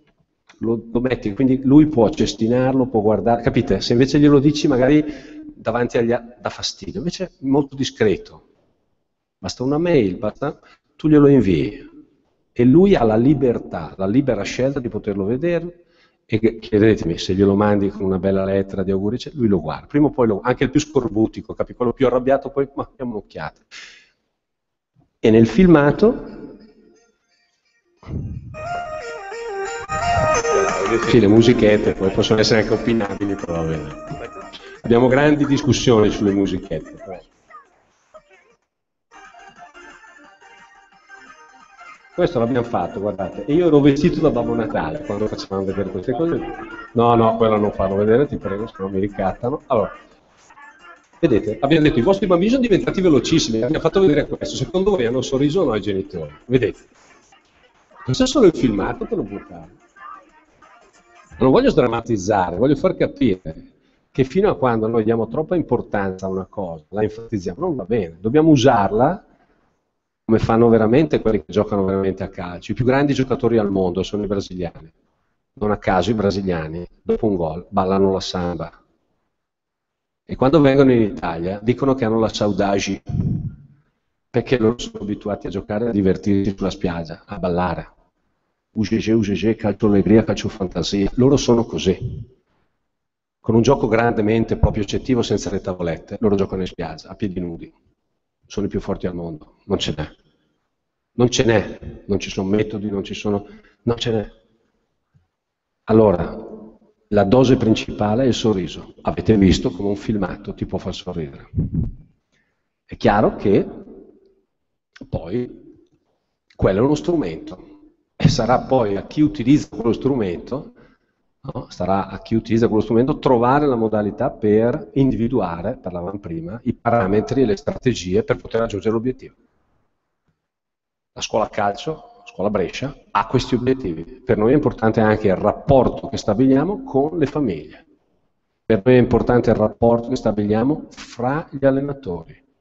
Per noi è importante il rapporto che stabiliamo con i giocatori importanti e i testimonial del calcio di una volta per noi è importante dire i consigli del medico e trasferirli, dire quali sono le scarpine migliori per il sintetico, andare a prevenire delle patologie attraverso l'informazione, se conosci previeni, avere dei filmati sui quali dibattere all'interno della scuola, far fare i filmati di una società punto Brescia che portiamo all'interno della scuola in maniera tale che conosciamo quella società senza andare in quella società.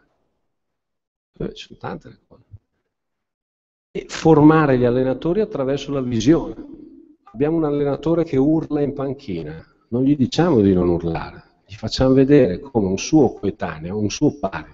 Perché se gli fai vedere il professionista dice, eh, ma lui c'ha l'alibi e lui è professionista. Ma se io ti faccio, se tu alleni è una squadra eh, piccoli, piccolini dell'oratorio, ti faccio vedere un tuo pari, che è di un oratorio vicino al tuo, che quella cosa che tu non fai la fa, se mi permettete, questo ha un potere incredibile, vale più di mille parole. Quindi l'immagine, l'exemplum, è micidiale. Ecco perché dico sempre che il disegno vale di più della parola, è, è l'esperanto.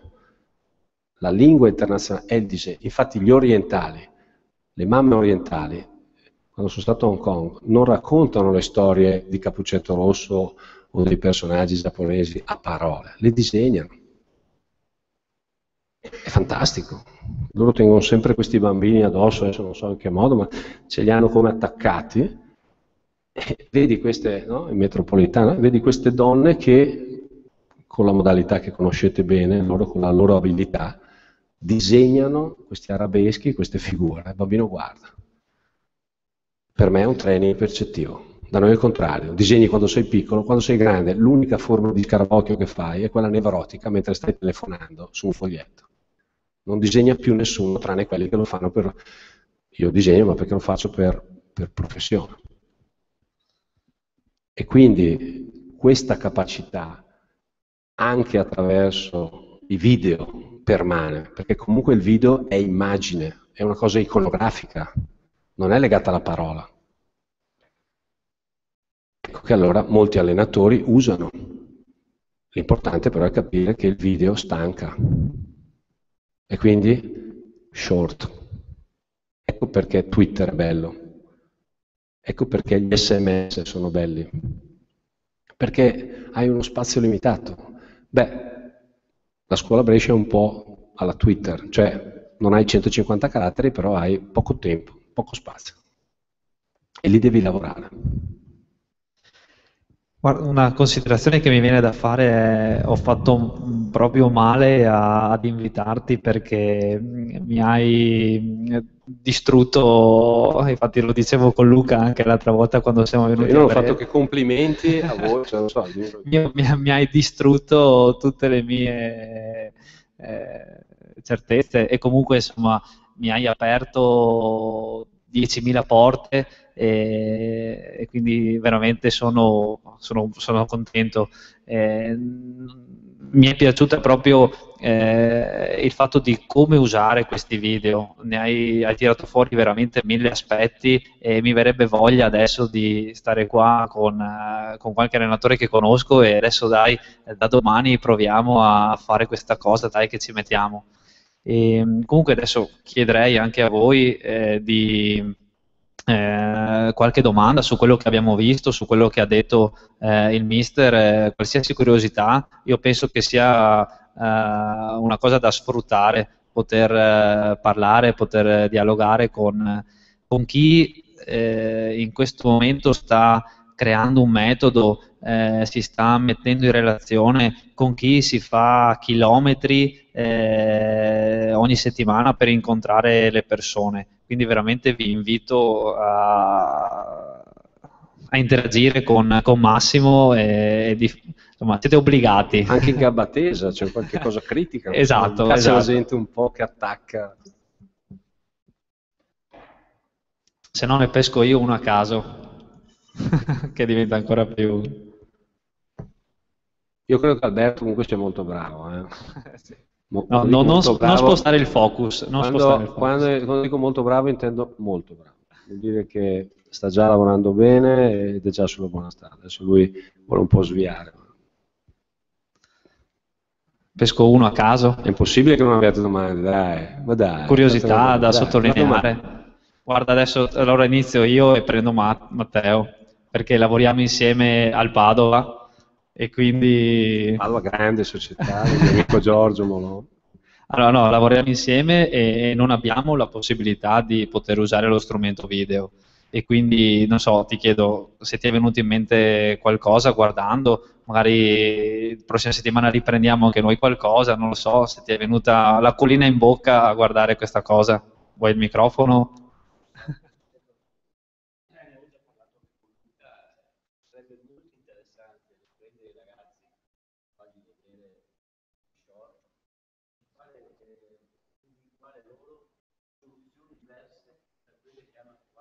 Bravo mister, bravo, bravo. Questa è una cosa fondamentale. Questa è una cosa fondamentale. Hanno, non so se hanno sentito tutti. Ah, è un peccato perché forse non se ne so. Eh, secondo me... Per me se, se sentissero il tuo intervento... È... Sì, no, dicevo che con Luca ne avevo già parlato a dicembre quando abbiamo fatto un camp organizzato sempre da Alberto, che sarebbe interessante riprendere i, i nostri ragazzi nelle, nelle, situazioni, nelle partitine che vanno a fare, per poi fargli vedere dei brevi filmati e fargli individuare a loro soluzioni diverse da quelle che hanno attuato in quella situazione, in quella fattispecie o spezione di gara, insomma, quello che viene ripreso. Credo, credo che mm, quello che hai detto conferma la qualità dello staff eh, scuola Padova e eh, è vero, hai ragione. Eh, è chiaro che questa fase che tu dici in pedagogia attiva si chiama role playing, è quando tu eh, fai fare un'inversione di ruolo? Eh, quindi hai, diverse, hai la possibilità di lavorare, non so, cooperative learning significa impariamo assieme nel fare una cosa, un problema solving quando gli poni un problema, il modelling che dicevamo prima è per imitazione, quindi hai diverse possibilità.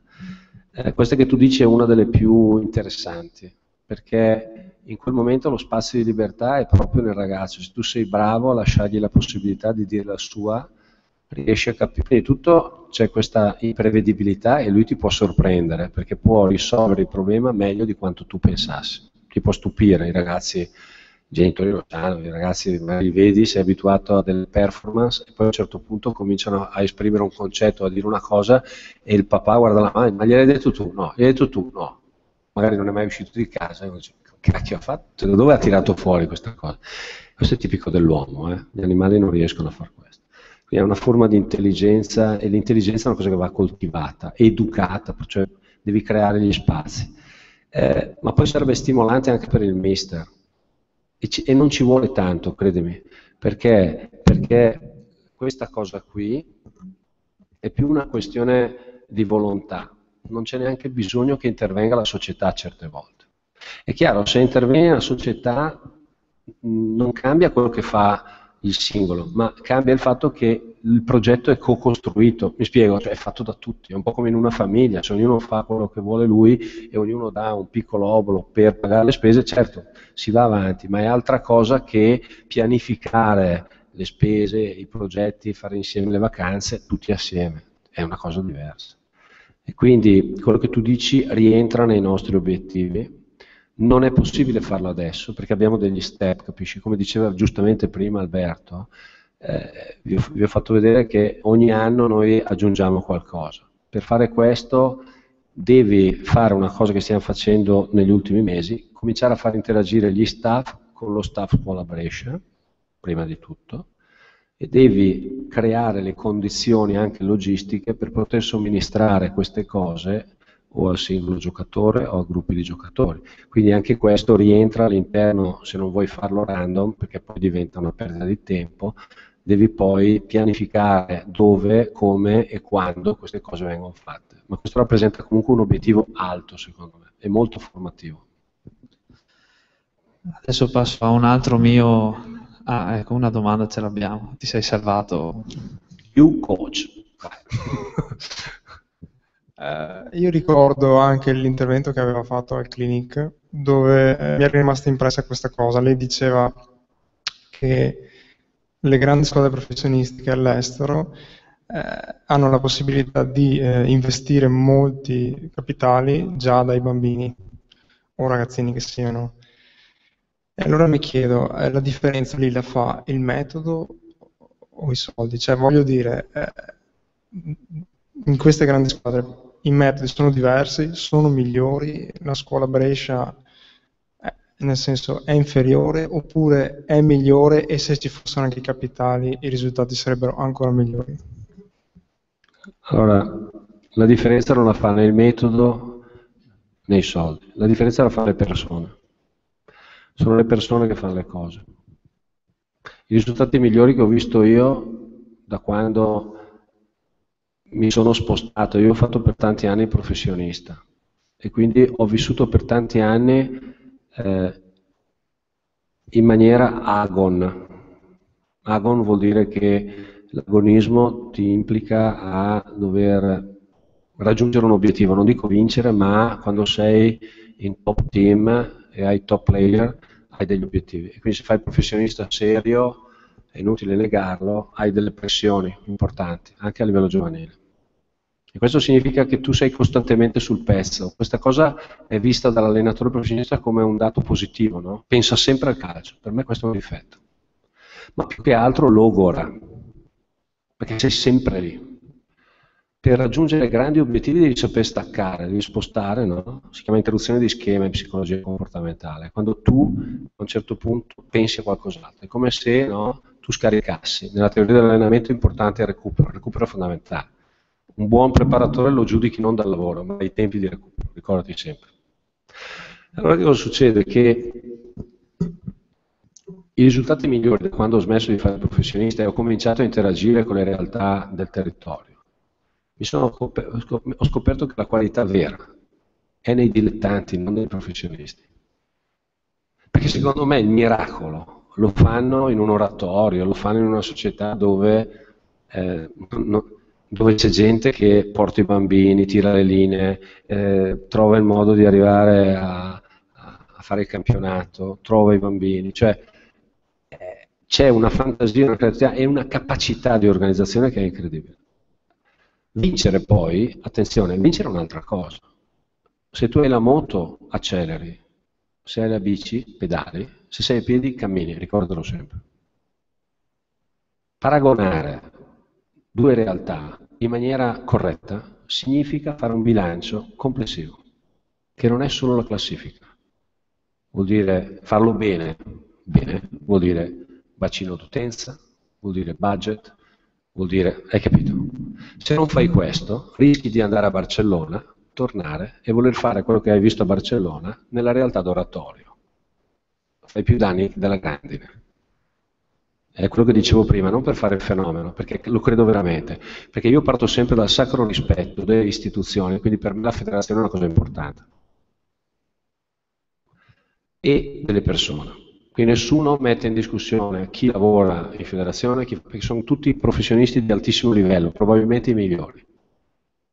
Io sto dicendo che per ottenere i risultati, quando parlo di metodo, non intendo che il metodo ti fa vincere o perdere, neanche i soldi, credimi Infatti in Italia abbiamo visto che ci sono dei club che hanno speso tantissimi soldi e non hanno ottenuto niente. Il Borussia ha speso 80 milioni di euro e è andato eh, a fare la finale di Coppa dei Campioni due anni fa. O no? Mi sembra. Contro i 500 milioni o 600 milioni del Real Madrid piuttosto che i 300-400. Cioè, una cifra che dal punto di vista del budget, del, del, no? del planning, nettamente inferiore perché c'erano dei valori. L'atletico adesso sta arrivando perché ci sono dei valori che sono molto legati alle cose che dicevo prima. Quindi vuol dire che tu costruisci un progetto attraverso la condivisione e la scelta delle persone. Quindi la scuola Brescia non è migliore o peggiore, il nostro metodo non è migliore o peggiore, è nostro però, è nostro, non so come dire. Avrà tutti i difetti, ma è nostro. Lo stiamo gestendo noi, è un metodo italiano, e viene rielaborato dai ragazzi in maniera libera. Non c'è un ragazzo della scuola Brescia che può dire che io dica loro quello che devono fare. Io mi, pro, mi pongo il problema di porre le domande giuste, le risposte le danno loro. Primo perché sono più bravi di me e sono più giovani e in secondo luogo perché così ci divertiamo, se no, se no parla uno solo, hai capito? Quindi mi raccomando, non dire così, perché se dici così vuol dire che parti già dal presupposto che per ottenere risultati ci vogliono i soldi o il metodo. Basti tu e i tuoi compagni con i quali hai fatto U-Coach e con i quali stai portando avanti un progetto. E se siete qua vestiti tutti e quattro uguali e mi avete fatto vedere un logo così bello, è perché siete organizzati e ci credete. Fino a quando siete mossi da quello, voi farete delle cose belle. Nel momento stesso in cui vi porrete, comincerete a dire, eh, ma quella cosa non riusciamo a farla perché non abbiamo i soldi, è finita. Perché dove non ci sono i soldi ci sono le idee. Nel marketing lo chiamano guerriglia marketing. Chi non ha soldi ha idee. E se due persone si incontrano e si scambiano 100 euro, tornano a casa ancora con 100 euro. Se ti scambi un'idea, tu torni a casa con due idee. Punto. Quindi l'idea è più forte del soldo. non è tutto, ma è più forte. Il Veneto è un luogo dove ci sono tanti imprenditori, tanti, tanti. E per fare una piccola impresa, imprese piccole magari, medie, ma eh, vuol dire che sai organizzarti, no? Impresa, cioè tu parti e fai qualcosa. Progetto significa gettare in avanti delle idee. Devi essere progettuale. Il Padova perché mi piace? Perché il mio amico Giorgio Mollò è una persona seria che sa lavorare. Oggi io ho parlato con Marchesini. Marchesini è una persona seria, Maurizio. Veneto e Luca Gotti, serio. Maurizio Vicidi, serio. Potrei andare avanti. Potrei andare avanti. Quindi il Veneto è una fucina di giovani allenatori, di allenatori seri. È addirittura anche, anche arbitri. Cioè, se voi guardate bene, sono tantissimi e non è così in tutte le regioni, con certe caratteristiche. Se succede qualcosa di nuovo, 90 su 100 parte dal Veneto, ma 90 su 100. Ecco perché dico che è dal territorio, è dai dilettanti che cambierà il calcio, è da lì. Perché lì ci sono le persone che di lavoro fanno qualcos'altro che hanno competenze elevate e bisogna capire che adesso la spending review, che prima o poi spero colpisca interamente il calcio, quello degli adulti, riequilibri le, eh, dire, le energie e le risorse. Il problema poi però è che non è questione di risorse, perché se tu non sei capace a fare una cosa, se ci sono le risorse, i fondi europei, facciamo così dai per fare un esempio a caso, e poi non hai i requisiti che il bando del fondo europeo dice per poter darti i soldi, tu i soldi non li prendi, lo sai. E sai che questo è il problema dell'Italia in questo momento, in tutti i settori. Ecco perché ho detto che l'aggiornamento della scuola è fondamentale e l'uso delle tecnologie è al centro. È al centro. Problema della lingua e uso delle tecnologie, delle nuove tecnologie. Quindi quelle esperienze che io ho visto oggi fatte da fuori area, dove chiaramente il taglio è molto più professionale, per cui c'erano dei parametri anche metrici, angolari e quant'altro, delle riprese, un layout prefissato, beh, è molto importante. Mi è capitato di parlare anche con dei laureandi o laureati, adesso delle persone che hanno svolto già delle ricerche, magari in ambito motorio piuttosto che coordinativo, beh, quella è la strada. Senza enfatizzare, senza dire io sono più bravo di te, è stupido questo è stupido. Poi, quindi noi non è che stiamo facendo vedere queste cose per dire che siamo i migliori o gli altri sono stupidi, ma lungi da me. Cioè, ma per contribuire a un confronto, a uno stimolo, a un'interazione. La cosa che a me piace molto è che poi i ragazzi giovani si scambiano le mail e stabiliscono rapporti tra di loro. Così si cresce. Io cresco se eh, il mio sogno è quello di poter fare dei progetti di carattere conoscitivo con società competitor. Perché no con l'Atalanta? Perché no col Milan, con l'Inter? Magari se cambiamo la mentalità piuttosto che rubare i bambini a vicenda, rubarsi i bambini, magari se cominciamo a prendere i migliori allenatori e trovare dei momenti al di là delle partite dei campionati che ben venga il campanile e quant'altro, ma se in quei momenti magari stabiliamo dei progetti che hanno un valore generale, magari sull'uso delle tecnologie, fra i migliori delle società professionistiche basterebbe questo. Ecco, io spero che un giorno la federazione diventi promotore di queste cose, divenga promotore di queste cose e eh, faccia in modo perché solo la federazione può fare questo, un ente superiore, di creare i luoghi dove questo avviene. Ecco, credo che questo sia un aggiornamento molto più valido che un filmato mandato così ad personam dove uno lo guarda da solo. Cioè, il filmato è importante se esiste interazione. Quei filmati, vi ho detto, diventano importanti perché poi lunedì c'è Volpi, Postanzini, ragazzi che parlano perché prima, durante e dopo quel filmato avvengono degli incontri, degli scontri, delle discussioni. C'è stata una serata dove Volpi e Posanzini non erano d'accordo, non so se mi spiego. Ma così come mi è capitato all'Inter quando magari sulla presa di posizione, su una sovrapposizione, Maresi diceva una cosa, Manicone ne diceva un'altra e c'era la discussione. Per dirvi che poi non è che è sempre obbligatorio avere il filmato, può essere anche un momento di campo, e ne avvengono tanti, Ecco, quelli sono i momenti secondo me decisivi. Ecco, se quelli al posto di essere condivisi solo da due allenatori che sono lì vengono filmati, qual è il vantaggio? Che poi puoi farli e condividerli con più gente. Questo solo il filmato te lo può, te lo può consentire. Ecco, questo è un aspetto fondamentale, perché ha a che vedere con l'aspetto della conoscenza. Certo che richiede una cosa, richiede generosità e aperture. Eh, io sono abituato a scrivere e a condividere. C'è gente che, no, questo è mio, Fai, no? come se ci fossero dei segreti, ma ragazzi, il calcio è semplice, non è che lo inventiamo, non è che, noi, che uno inventa le cose. È molto semplice. E quindi quello che è importante non è che bisogna fare gol, è vedere come poi quel gol può essere fatto. La finta che faceva Bruno Conti nel 1982, scusate la Marcord, i giovani non se lo ricordano, andate a vedere, quelli un po' più vecchi forse sì, era un giocatore, un'ala, bassottino, faceva una finta, una sola, ne sapeva fare una sola. Ai mondiali dell'82, adesso non so se con o senza match analisi, ma la conoscevano tutti. Oh, non c'è uno che l'ha fermata. Perché? Perché tutti la conoscevano, ma lui lavorava sui tempi e quindi ti fregava sempre sul tempo. Ecco perché dico, quindi non c'è bisogno di fare tante cose, l'importante però è diventare eccellente, no? un buon giocatore, no? come indice di qualità, non deve saper fare tutto. Lo scouting, secondo me, a un certo punto, quando devi scegliere qualcuno, se è selettivo, a un certo livello, non sicuramente in prima battuta, ma in realtà dove c'è il sociale importante. Tu non guardi eh, la sufficienza, tu vuoi che ci sia un'eccellenza deve essere eccellente in una cosa, eccellente, ma ad altissimo livello. Ah, non sa fare fa niente, ma quella cosa la fa al massimo livello. Almeno questa è la mia opinione.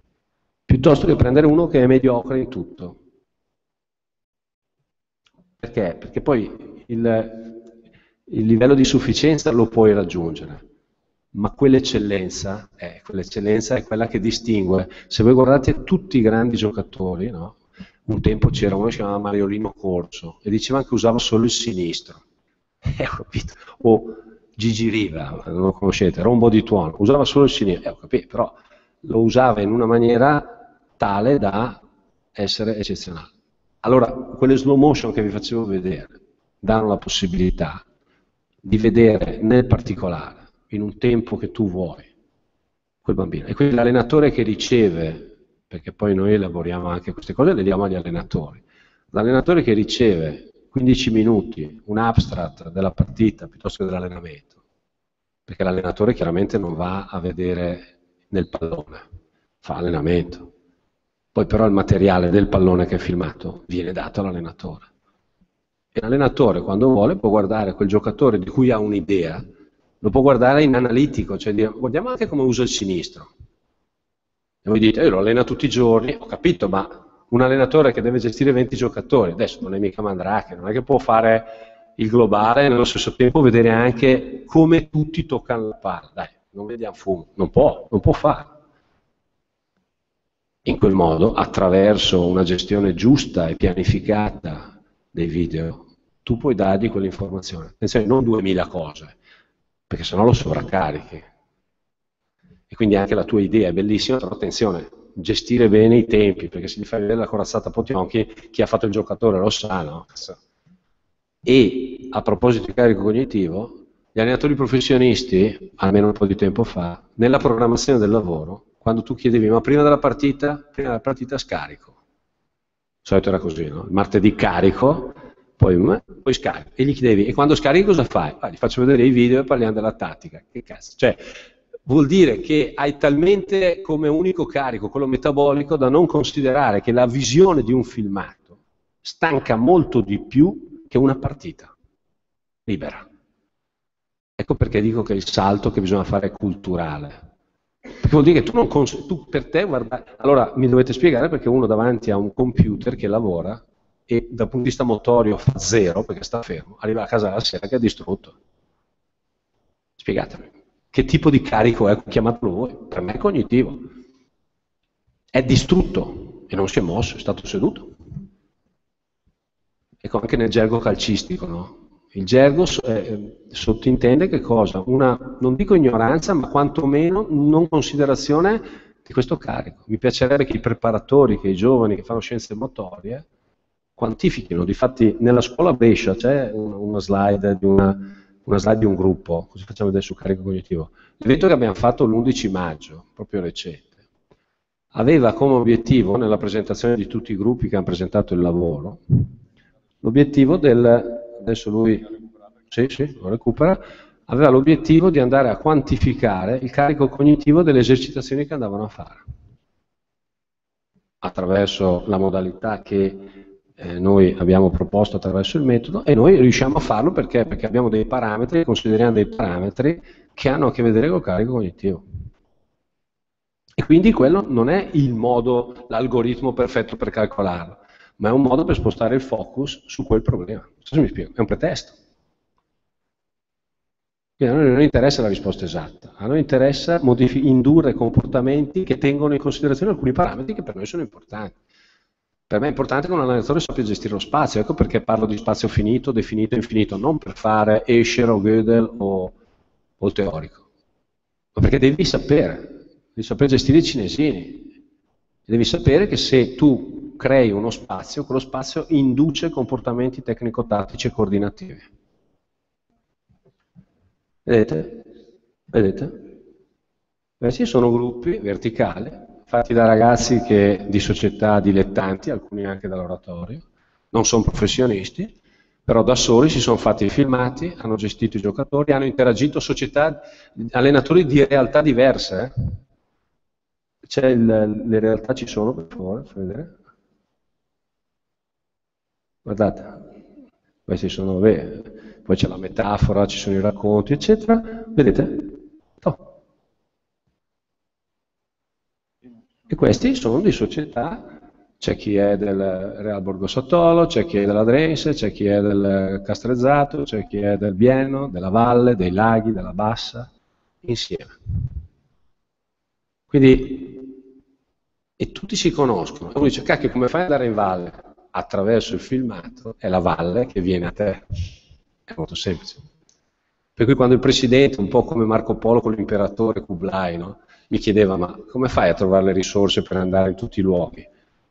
Non capiva che io non avevo intenzione di andare nei luoghi, ah, volevo attraverso la tecnologia e attraverso un luogo tranquillo, qui avete uno spazio bellissimo, noi abbiamo, non bello così, ma abbiamo uno spazio simile, seduto, tu puoi vedere un allenamento del bienno seduto puoi vedere un allenamento della, della squadra del taglio di pote dove gioca il figlio del mio amico e lo possiamo vedere qua mentre li tirano in porta e para. Dopo vediamo un allenamento del Padova, dopodiché vediamo l'intervista a Molon, dopodiché c'è Alberto con Luca che fa vedere una ripresa e eh, un ragazzo che ti spiega i parametri con i quali la velocità, il tempo si può fare. Perché non si può fare? Non ci vogliono i miliardi non ci vuole il Bayern, non ci vuole il Barcellona, ci vogliono le persone, ci sono già qua, non siamo noi, e noi stiamo facendo quella roba qua. Siamo vicini al Veneto, quindi un po' abbiamo preso anche noi e noi stiamo cercando di attivarci nella speranza sempre che centralmente ci siano delle indicazioni un attimino più precise. Siamo un po' critici noi rispetto a questo. Ma un attimino più precise vuol dire eh, partecipate, capite? Non che ci mandano dei filmati o delle cose che già noi possiamo trovare in rete, giusto? Dico, voi penso che non avete problemi a trovare dei filmati, ne scaricate 20.000, 20.000 giga in 3 secondi, il problema è come collegare quelle cose. Altre domande? Sfrutterei il momento.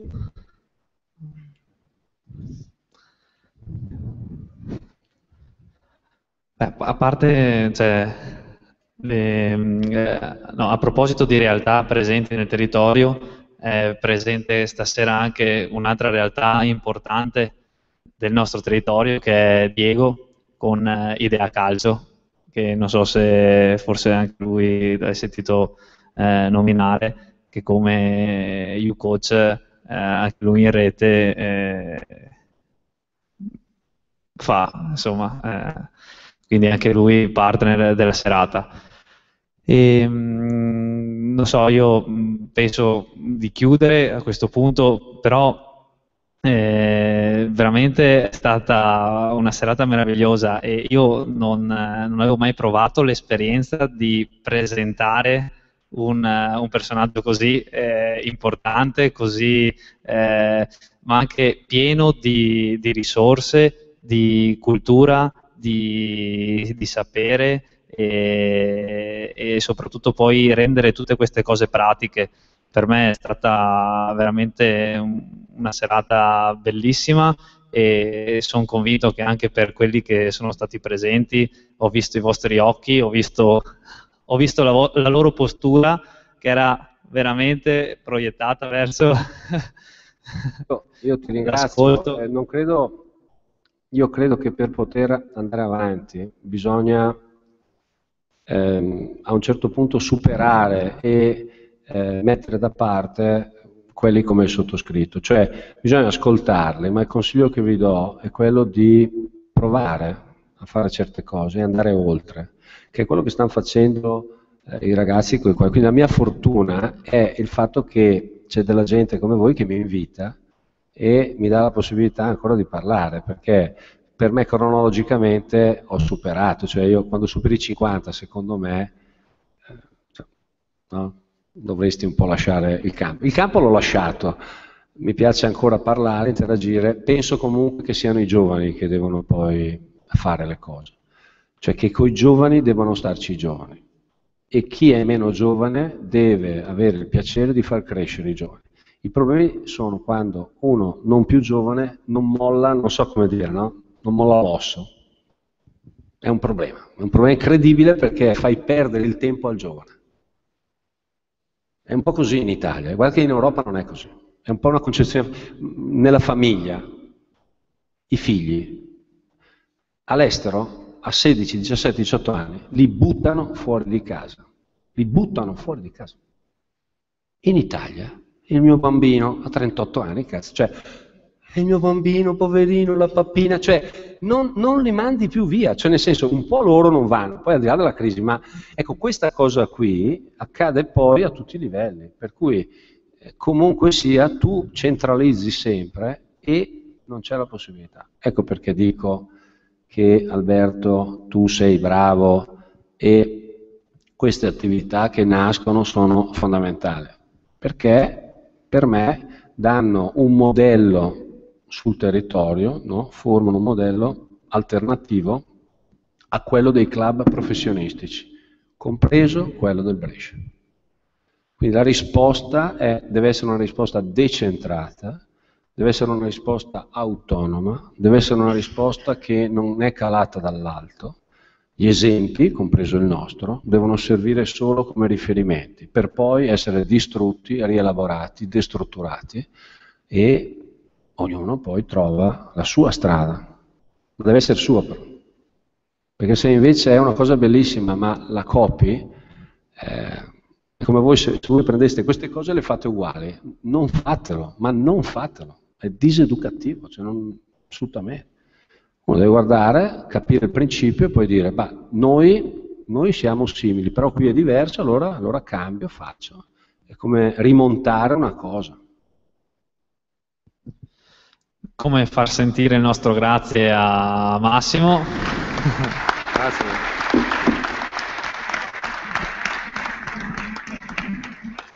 E Matteo.